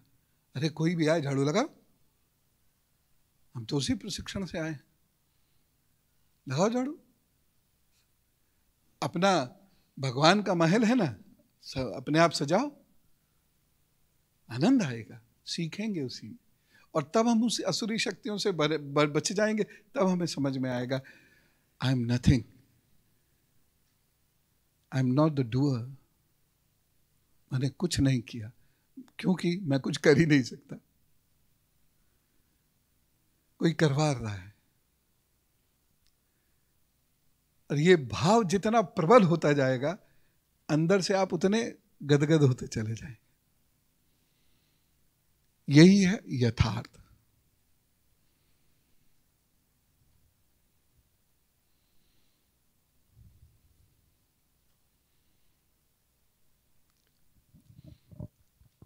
उसके बाद कृष्ण कहते हैं देखिए कितनी गंभीर चोट कर रहे हैं।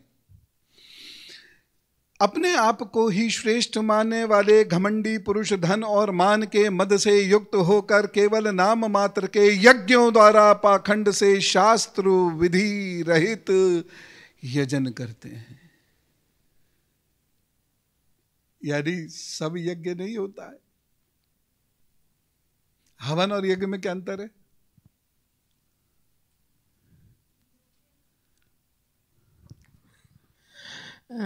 यज्ञ कोई अनुष्ठान की तरह होता है और हवन डेली बेसिस पर होता है। ठीक। तो जब हम कोई सिद्धि के लिए प्रयास करते हैं सिद्धि का मतलब यही नहीं है कि हम किसी का भविष्य बताने लगे। बहुत तरीके की सिद्धि है दुनिया में। यांत्रिक सिद्धियाँ भी सिद्धियाँ ही है ना? तो जब हम उस किसी अनुष्ठान को करते हैं वह यज्ञ है। यज्ञ में श्री कृष्ण कौन सा यज्ञ बताते हैं? किसको याद है?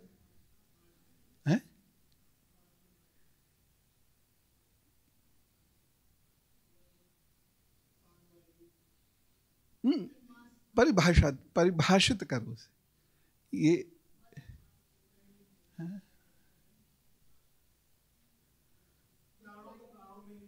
हाँ। मनुष्य के अंदर पाँच प्रमुख वायु हैं, उनका आपस में आहुति करना, श्री कृष्ण कहते हैं ये यज्ञ है। बाह्य यज्ञ आडंबर है। अनुष्ठान विशेष के लिए यज्ञ कीजिए, कष्ट सही है, तब यह आडंबर नहीं है। श्री कृष्ण आडंबरों से दूर रखते हैं सबको, और हम वहीं फंस जाते जाके। उसमें श्री कृष्ण को भी फंसा देते भक्त तो भक्त भगवान पे भारी पड़ता है कभी कभी लेकिन कृष्ण बचाएँगे आपका आडंबर से तो वो क्या कह रहे हैं कि कोई अनुष्ठान के प्रति जो आप कार्य कर रहे हैं, वह यज्ञ है। और जो सामान्य प्रक्रिया में आप हाविष्य के साथ जो अपना देवताओं के प्रति कर्म पूर्ण कर रहे हैं, वह हवन है। हाविष्य क्या है? समिधा, सामग्री। क्या होता है? पेड़ों को रस मिलता है। वातावरण शुद्ध होता है। मनुष्य के लंग्स खुलते हैं, क्योंकि वह सब औषधियाँ हैं। अब वो आजकल नकली आती हैं मार्केट में, वो एक अलग बात है। लेकिन मूलतः वह औषधियाँ हैं। हम लोग कूट पीस के क्या क्या कर करके सब लोग दीदी लोग बनाते हैं। वो औषधियाँ हैं। नाक खुल जाएगी लंग्स खुल जाएँगे आपके। और लंग्स खुलेंगे, तभी सक्रियता सक्रियता आएगी और एकाग्रचित्त होंगे।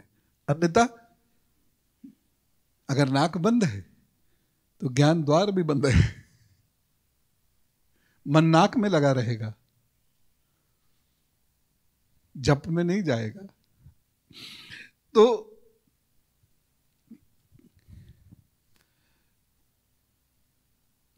ऐसे लोग क्या है? असुरी योनि के लोग हैं। और ये मुझको प्राप्त नहीं करते हैं।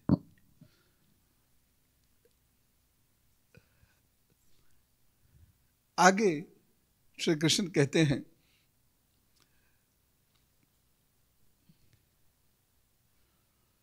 जो दूसरों के कल्याण का आचरण करता है। महाशिवरात्रि पर मैंने एक बात कही थी, याद है? कल रात भी कही थी। शिवमयी नहीं, शिव। शिव हुए बिना शिव की पूजा नहीं हो सकती। हम कहेंगे कि हम कैसे शिव हो सकते हैं? हो सकते हैं। शिव का अर्थ क्या है? कल्याण। तो अगर मेरे मन में किसी की कल्याण की भावना है ही नहीं, मैं मुझ तक सीमित हूँ तो मैं शुभ कार्य कर ही नहीं सकता। मैं शिव हो ही नहीं सकता, और जो शिव नहीं हो सकता, वह शिव का भजन पूजन, उपासना कर ही नहीं सकता। इसीलिए देखिए, अध्यात्म का अर्थ है परिवर्तन क्या आ रहा है आपके मन में? विचार में, कर्म में, परिवर्तन क्या आ रहा है? यह महत्वपूर्ण, अगर परिवर्तन नहीं आ रहा है तो शब्द होंगे। और अगर आप परिवर्तन का प्रयत्न कर रहे हैं तो भक्ति है, और परिवर्तन आ रहा है तो कृपा है। नहीं आ रहा तो कुछ नहीं, सब बेकार। तो परिवर्तन ये नहीं है कि आज सौ रुपए हैं, कल दो सौ कर दे भगवान। आज ये वाली गाड़ी है, कल ये वाली कर दे भगवान। और मेरी ना करे तो ये इंश्योर कर कि पड़ोसी की ना हो जाए। ये वाला परिवर्तन नहीं। महान परिवर्तन। जब मनुष्य के भीतर का महत्व वो परिवर्तन जागृत करता है तो क्या उत्पन्न हो रहा है? अभी हमने अंताकरण चातुष्ट में बात करी तो क्या उत्पन्न हो रहा है? बोलो बोलो। है? अरे, संस्कार उत्पन्न हो रहा है। ये संस्कार कौन सी अवस्था है? चित्त की। तो अब चित्त बदल रहा है ना। भगवान के पास बैठकर, भगवान के भजन गाकर, भगवान की कथाएँ पढ़कर, सुनकर, सत्संग कर कर भी अगर चित्त में परिवर्तन नहीं है तो ये भक्ति नहीं, ढोंग है। या उस, उतनी थोड़ी देर के लिए है, जैसे शमशान में बैठ के सभी औगड़ हो जाते हैं, सभी को मृत्यु का ज्ञान हो जाता है। कितनी देर रहता है? जब तक घर नहीं पहुँचते। और कईयों के तो फ़ोन बीच में ही शुरू हो जाते हैं। वह उत्ते उत्ते में बिठा लेना सौदा। खत्म? ये कह रहे हैं श्री कृष्ण। श्री कृष्ण ने कल्याण शब्द का प्रयोग किया कि जो उस कल्याण भावना से मेरी भक्ति करता है, उसको मैं प्राप्त होऊँगा। इसी को हम सामान्य भाषा में सेवा कह देते हैं। हिंदू इसे भी करने को तैयार नहीं। क्या करना चाहता है वो भक्ति के नाम पर? उसे खुद नहीं पता। और नहीं पता, अज्ञानता, क्षमा का बहाना नहीं है भगवान के निगाह में। आप नहीं जानते, ये आपकी अज्ञानता है। मैंने आपको कैपेबिलिटीज दी है। भगवान कह रहे हैं, मैंने आपको कैपेबिलिटीज दी हैं। आप जान सकते थे, मैंने आपको विवेक दिया था। आपने जानना नहीं चाहा। तो भुगतो उसके बाद अंतिम बात चौबीसवें श्लोक की जो श्री कृष्ण कहते हैं, इससे तेरे लिए इस कर्तव्य और अकर्तव्य की व्यवस्था में ही शास्त्र ही प्रमाण है। ऐसा जानकर तू शास्त्र विधि से नियत कर्म ही करने योग्य है। हम बहुत सारी पूजाएँ ऐसी करते हैं जो शास्त्र सम्मत नहीं। लेकिन हमें पता नहीं, हम कहिए चले जाते हैं। बहुत सारे कार्य ऐसे कर देते हैं हम। तो प्रभु क्या कहते हैं? शास्त्र सम्मत बात करो और जब आप पढ़ोगे ना शास्त्र को थोड़ा थोड़ा भी, जैसे अब आज हमने यज्ञवाल जी को पढ़ा याज्ञवल के जी, कितना? जीवात्मा, परमात्मा का संयोग, योग है। कितनी खूबसूरत बात है। एक सेंटेंस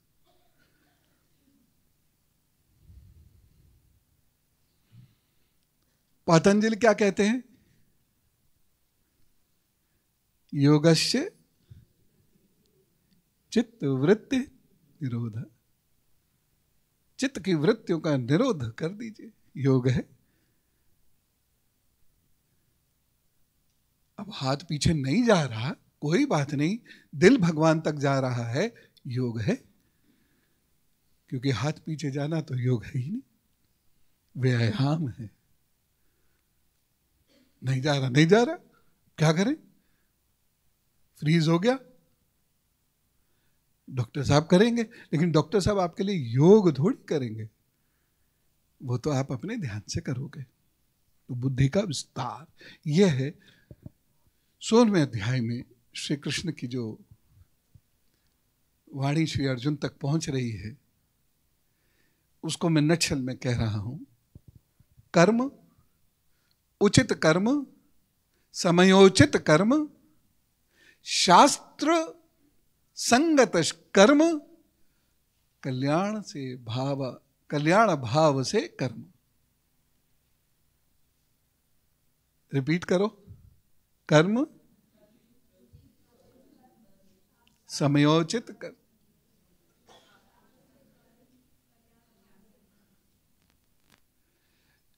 ये है देवीय शक्तियों के गुण, और जो इस मार्ग पर चलता है, उसे मैं प्राप्त होता हूँ। असुरी शक्तियों को नरक प्राप्त होता है।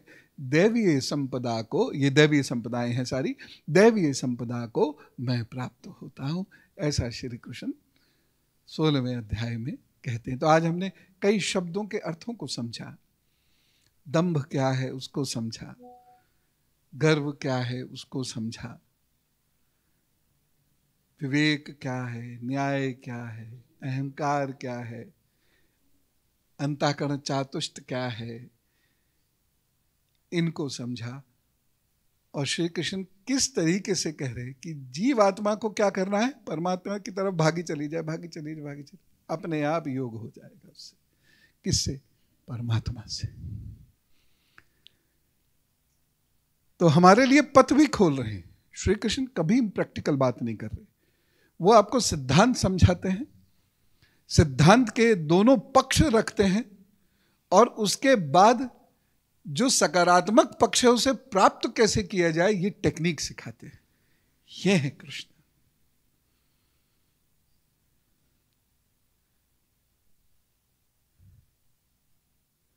इसीलिए वो जगत गुरु हैं।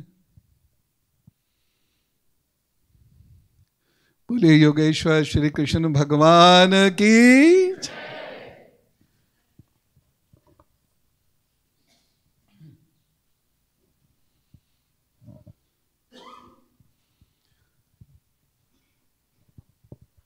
ध्यान का समय तो नहीं हुआ कि सात मिनट हमारे पास है। एक आध कोई प्रश्न अगर हो मन में तो आप कर सकते हैं। ट्रैफ़िक पुलिस कैसे बन राम राम गुरु जी गुरु जी सोलहवें अध्याय में हमने तीन चार शब्द एक जैसे आ रहे हैं। तो क्या सबका मतलब एक ही है? आसुरी संपदा, आसुरी प्रकृति, आसुरी योनि और आसुरी स्वभाव। क्या सबका मतलब एक ही है गुरु जी आवाज़ साफ़ नहीं खुल के बोल खुल के। सोलहवें अध्याय के अंदर जी। हाँ। चार शब्द बार बार आ रहे हैं। आसुरी संपदा आसुरी शक्ति आसुरी योनि आसुरी स्वभाव। क्या सभी एक एक ही हैं? या एक दूसरे से लिंक्ड है। जी। जब हम स्वभाव से असुर हो जाते हैं तो हम क्या कमाते हैं? आसुरी संपदा। प्रोडक्ट। कैसे? क्योंकि हमारे अंदर वही नेगेटिव पावर डेवलप हो जाती है, असुरी शक्ति। तो असुर असुर की इच्छा करता है, अपनी इच्छा की पूर्ति में वह भी शक्ति लगाता है। वो लेकिन नकारात्मक शक्ति है। और उसका परिणाम जो सामने आता है, वो असुरी संपदा है, कहलाती है। यानी उसका प्रोडक्ट क्या है? बुरे का बुरा परिणाम असुरी संपदा है। और वहीं जो दैवीय व्यक्ति है, वह दैवीय शक्ति की तरफ़ बढ़ता है, उस शक्ति का पालन करता है तो उसको क्या मिलती है? दैवीय संपदा मिलती है। दैवीय संपदा की परिणति क्या किसमें होती है? स्वयं भगवान में। तो ये शब्द थोड़े थोड़े अलग हैं, लेकिन ये सब एक दूसरे से जुड़ते हैं।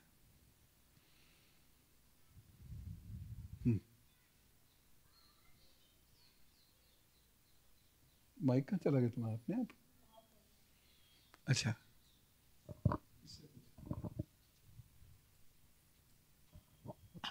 आपने बताया है कि विष्णु एक पद है तो तो जिस विष्णु के बारे में हम पढ़ते हैं उस काल के तो लक्ष्मी क्या उसकी पत्नी है या फिर लक्ष्मी भी एक पद है? उनकी। उनकी। श्री हरि। मिलकर ये बना है हमारे यहाँ पुरुष और प्रकृति, ये मिलकर ही सृष्टि का कारक बनते हैं। तो हर विष्णु के साथ श्री लक्ष्मी अवश्य होंगी, श्री अवश्य होंगी। तो अगर विष्णु पुरुष हैं तो वह स्त्री है, स्त्री शक्ति है। वह वह पद है, अगर विष्णु जी एक पद है तो वह उस पद पर स्थापित स्त्री। है ठीक है ना? इस तरह से। तो उनका भी पद है तो उनका भी पद है, श्री पद है। हम्म। हाँ।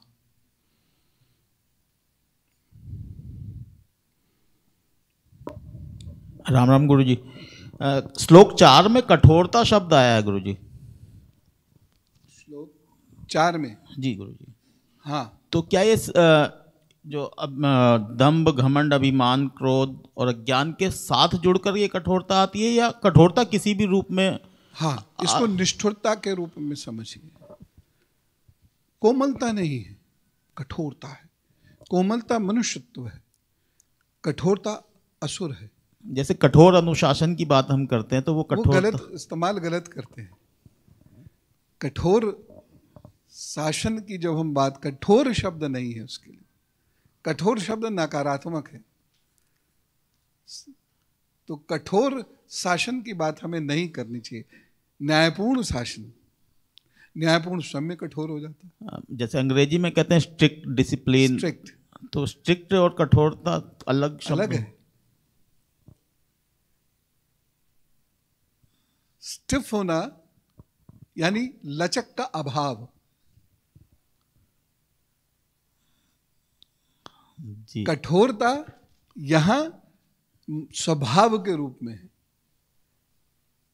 मैंने न्याय करना ही नहीं है। न्याय करना होगा तो फ्लेक्सिबिलिटी चाहिए लचक चाहिए। सुनूँगा ना दोनों पक्ष को। और कठोर होगा तो जो मेरा मन तो इसलिए ये असुरी संपदा है। असुर कठोर होगा। फिर फिर भी गुरु जी कठोर शब्द समझ में जो अब तक सोचते आए कठोरता को हाँ वो वो यही प्रॉब्लम है। दरअसल भाषा ने बहुत स्वरूप बदले हैं पिछले लगभग लगभग दस हज़ार वर्षों में। और उसमें हिंदी तो बहुत बाद में आई है। तमिल संस्कृत। संस्कृत के भी दो भाग, ब्राह्मी, खरोष्ठी, ये लिपियाँ। तो बहुत सारे वृत्तों से पार आई है भाषा। तो एक होती है कोलोकियल लैंग्वेज अपने अनुसार शब्द डाल देते हैं हम जैसे। तिया पांचा हो गया। अब तिया क्या है, पांचा क्या है? लेकिन इसका अर्थ स्पष्ट है, जिसका हुआ है और जो बता रहा है, दोनों का अर्थ स्पष्ट है।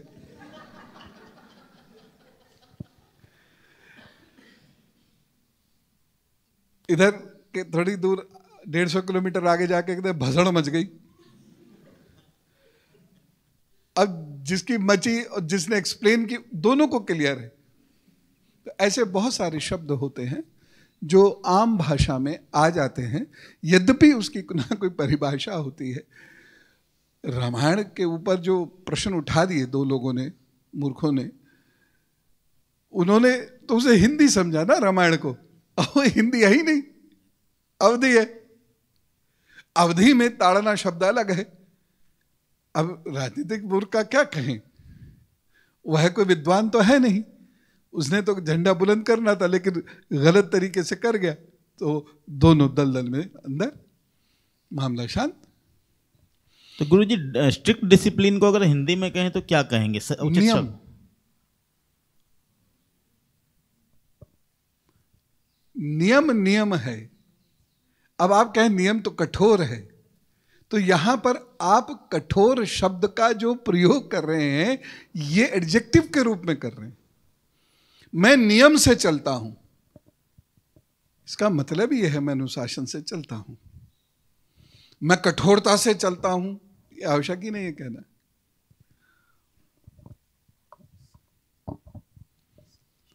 शब्द न्याय है। ठीक है ना? स्ट्रिक्ट मतलब वो नियम से, नियम के लिए आ रहा है, कठोर के लिए नहीं आ रहा है। कहा छुप गया रे कठोर? अब वो कड़ा कड़ा शब्द ये भी है। कड़ा ये भी तो है। कड़ा प्रसाद भी होता है। कड़ा, कड़ाहा को कड़ा भी बोल देते हैं।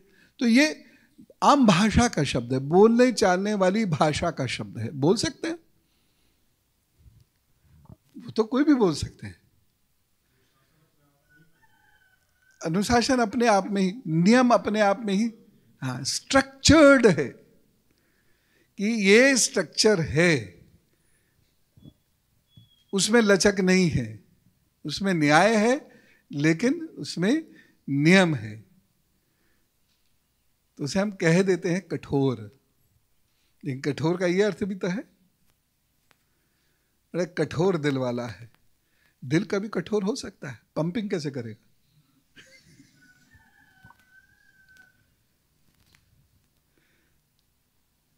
अंतिम अभी है छह सात मिनट हाँ दो ले सकते हैं बस दो के बाद नहीं।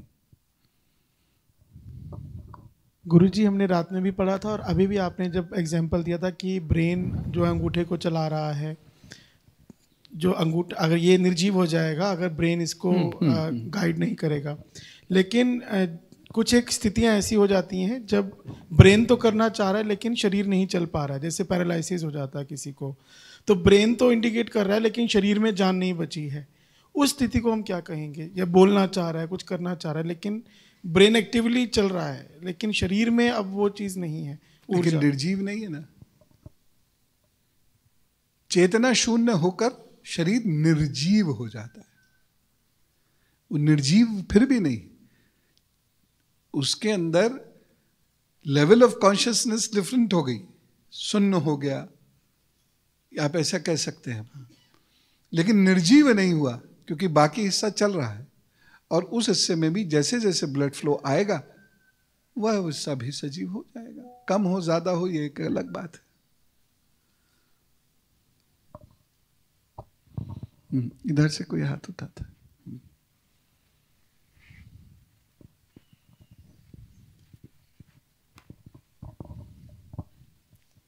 हम हम आध्यात्मिक जनता और नॉन आध्यात्मिक वर्ल्ड में थोड़े डिफरेंसेस नोटिस करते हैं। जैसे आध्यात्मिक लोग कहते हैं कि alcohol smoking etcetera abusive words use करना पाप कंसिडर किया जाता है। जब हमें ये पूछा जाता है कि क्यों, हम कहते हैं इट्स फॉरबिडन रिलीजन बट ऐसा क्यों है? Why is it forbidden why it is forbidden? Forbidden in religion means abusive language is forbidden in नहीं हम नोटिस करते हैं आध्यात्मिक वर्ल्ड और नॉन आध्यात्मिक वर्ल्ड में थोड़े डिफरेंसेस है। जैसे आध्यात्मिक जनता अल्कोहल स्मोकिंग और अब्यूजिव वर्ड्स को पाप कंसिडर करती है राइट तो हमें जब पूछा जाता है कि वाई इज़ दिस सो हम कहते हैं कि हम it is forbidden the religion पर वो पूछते हैं why why is it forbidden तो इसका क्या उत्तर है? It begets negativity इसलिए forbidden है anything which, which begets negativity is forbidden because spirituality tells us how to be positive person deviya sampada how to inherit the godly products or the godly or the divine divine word is little better, easily understandable. So, divinity. so, spirituality begets divinity.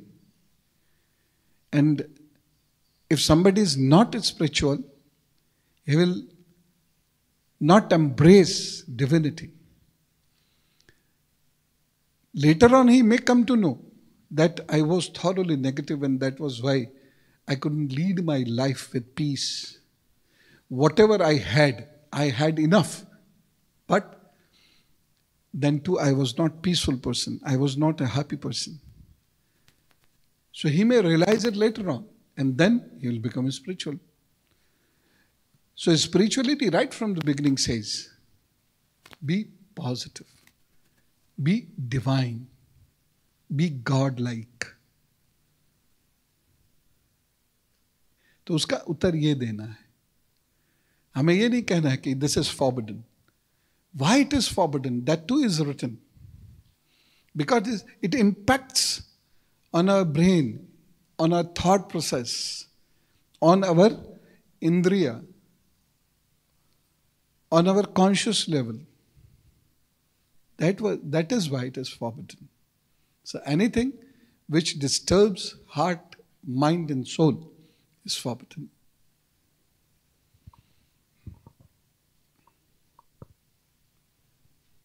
दो कहे थे। चल अच्छा एक चार minute है चलिए ले लीजिए। सरपट होंगे। राम राम गुरु जी आपने अहंकार के बारे में बताया अहम का ज्ञान। अहंकार के बारे में आपने जब बताया जी, था जी। कि मुझे मेरे बारे में ज्ञान है। किंतु ज्ञान की प्रक्रिया तो अनवरत जारी रहती है। है ना? मान लीजिए अगर मैं एक ऐसी स्थिति में उम्र के बाद, साठ, सत्तर साल, अस्सी साल के बाद भी, ऐसी स्थिति कब उत्पन्न होती है जहाँ हमें ये लगता है कि हाँ ईश्वर की प्राप्ति हो गई है, ताकि हम संतुष्ट हो सकें। स्वयं कृष्ण भी जब अर्जुन को संतुष्ट कर पाए, तब गांडीव उठाया उन्होंने। तो ऐसी स्थिति कैसे पता चलती है हम लोगों को? क्योंकि कुछ लोग बहुत ही कम उम्र में, अब उदाहरण के लिए आप ही को अगर मैं देखूँ तो आपको आपको मुझे लगता है पंद्रह साल से मैं टीवी के माध्यम से मेरा पूरा परिवार जुड़ा हुआ था, बहुत पहले से। बच्चा था शायद तब मैं, मुझे याद भी नहीं कब मैंने पहली बार आपको देखा होगा उधर। तो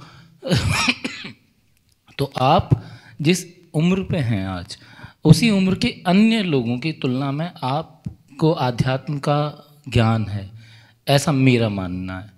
तो ये चीज़ कुछ को कम आयु में प्राप्त होती है और कुछ को बहुत बाद में प्राप्त होती है तो ऐसा होता क्यों है और ये स्थिति का पता कैसे चलता है? बहुत अच्छा क्वेश्चन है। और इसका जो फ़र्स्ट पार्ट है, जो बहुत महत्वपूर्ण है कि मुझको कैसे पता चले मैं आध्यात्मिक हो गया। अगर आप लोगों को ध्यान हो गुंडीचा मंदिर, उसके सामने जब शिविर चल रहा था जगन्नाथपुरी में तो मैंने इसका एक उत्तर दिया था।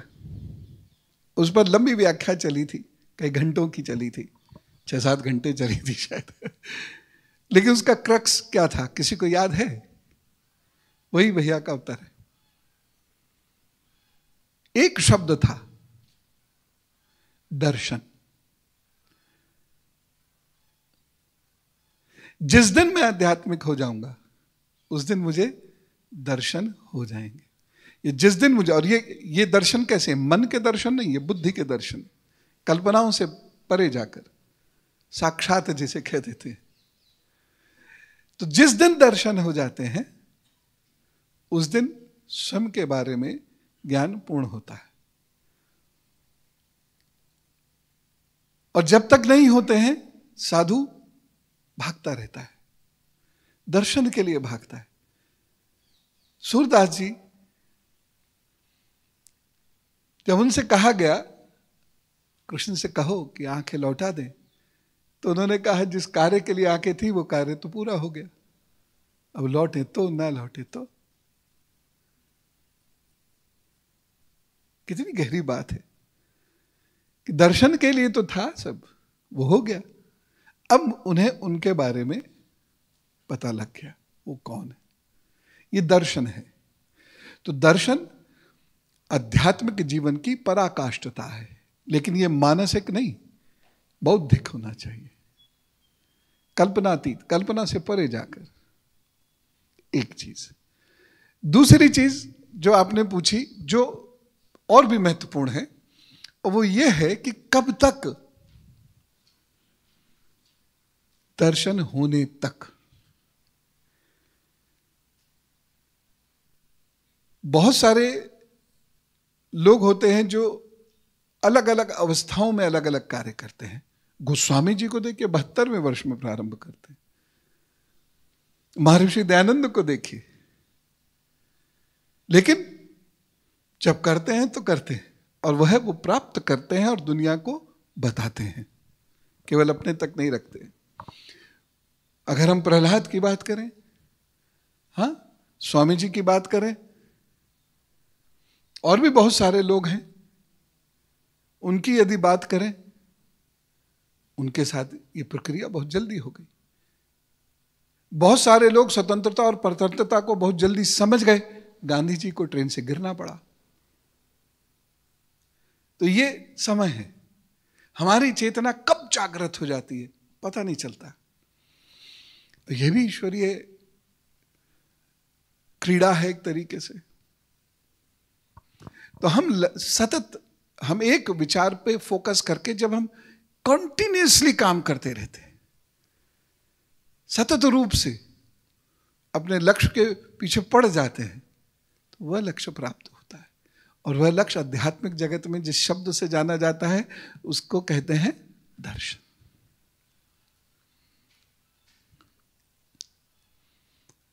किसी को जल्दी भी हो सकते हैं, किसी को देर से हो सकते हैं। किसी को पता ही देर से चला, मान लीजिए। ऐसा नहीं वो इनकेपेबल था। पता ही नहीं था। ऐसा भी होता है। मन भटकता तो था, विचलन तो था। लेकिन विचलन समझते समझते बीस पच्चीस साल निकल गए। ये विचलन था क्या? अब समझ में आया। तो आज से लग गए। प्राप्त कर लिया। किसी बच्चे को आप नाइन्थ क्लास में बता दें यूपीएससी क्या होता है? तो मेहनत करेगा अपने लक्ष्य पर। कामयाबी हासिल कर लेगा, जल्दी कर लेगा। और किसी को पता ही सत्ताईसवें साल में चला तो अब उसके पास तो दो साल बचे बस। अब उसे ज़्यादा मेहनत करनी पड़ेगी, लेकिन हो सकता है वो भी प्राप्त कर ले। तो देश, काल, परिस्थिति और पूर्व जन्म के कर्म इस पर निर्भर करता है। अधम मनुष्य को लंबा समय लगता है, तब वह योग प्राप्त करता है। मध्यम पुरुष को केवल गुरु एक बार टिका देता है, अपने रास्ते चल देता है, उसे योग की आवश्यकता ही नहीं। और उत्तम पुरुष पूर्व से ही सीखा हुआ, सब चला रहा, उसको स्मृति में है, उसको बिल्कुल भी ज़रूरत नहीं है। तो ये जन्म जन्मांतर की क्रियाओं का परिणाम होता है। हम जो भी कुछ आज कर पाते हैं, जन्म, आप सम विश्लेषण करिएगा, बहुत सारी चीज़ें आपने सुनी भी नहीं, पढ़ी भी नहीं फिर भी उसका विश्लेषण दे पा रहे हैं। कई जगहों पे आप गए हैं। आप कभी नहीं उससे पहले गए, लेकिन फिर भी पहचानी सी लग रही है। तो ये वही स्मृतियाँ हैं जो विस्मृति की चादर को या उसका जो धुआँ है, उसके, उसको चीरना चाहते हैं। अब जिसको, जब मौका मिल जाता है तो कर लेता है।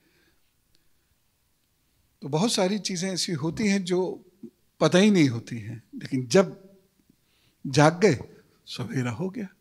ये फ़िज़िकल वर्ल्ड का सवेरा नहीं हुआ वो तो उसी टाइम पे होता है। चेतना का सवेरा हो गया। और लग गए उसके पीछे। जब मैं साक्षरता के लिए काम कर रहा था 92, 93 के बाद अभियान बहुत तेज़ी से चल रहा था। उधर उससे पहले की बात है 88, 89 की बात है। तो मैं बहुत तेज़ी उस वक्त ये बहुत तेज काम कर रहा था हम भी उसमें लगते थे। तो हम देखते थे कि माता जी आ रही हैं साठ साल पैंसठ साल। लालटेन में पढ़ाइयाँ हो रही हैं। फिर वो पंच लाइट पे हम वो चलाते थे उसे। और पढ़ रही हैं और दो साल के अंदर अंदर हमारे टारगेट क्या दिया जाता था? छोटा सा टारगेट जो यूजलेस था, हस्ताक्षर करना सीख लें एक टारगेट था। उससे क्या गलतियाँ होनी बंद हो जाएँगी?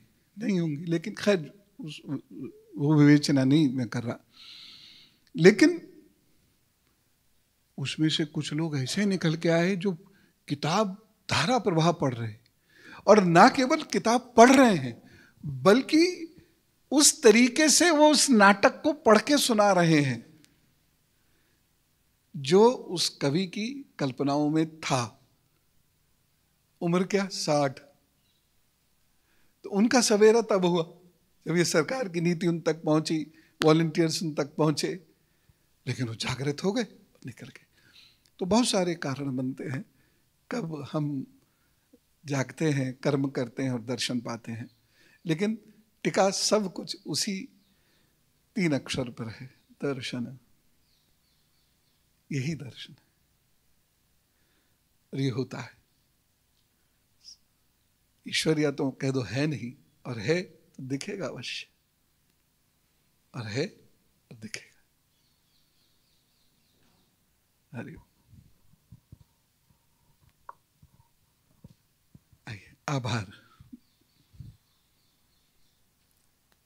धन्यवाद ज्ञापन कौन करेंगे?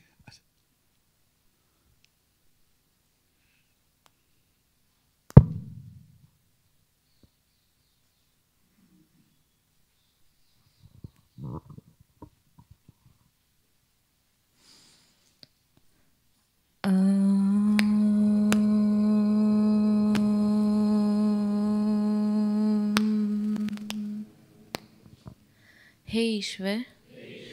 आपका बहुत बहुत धन्यवाद। आपकी कृपा मुझ पर बरस रही है। आप मुझे शक्ति दीजिए। आप मुझे भक्ति दीजिए, जिससे मैं आपके कार्य कर सकूँ।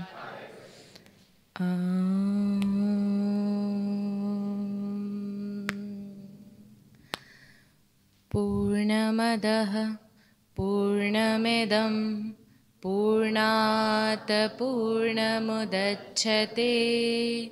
पूर्णस्य पूर्णमादाय पूर्णमेवावशिष्यते। ॐ।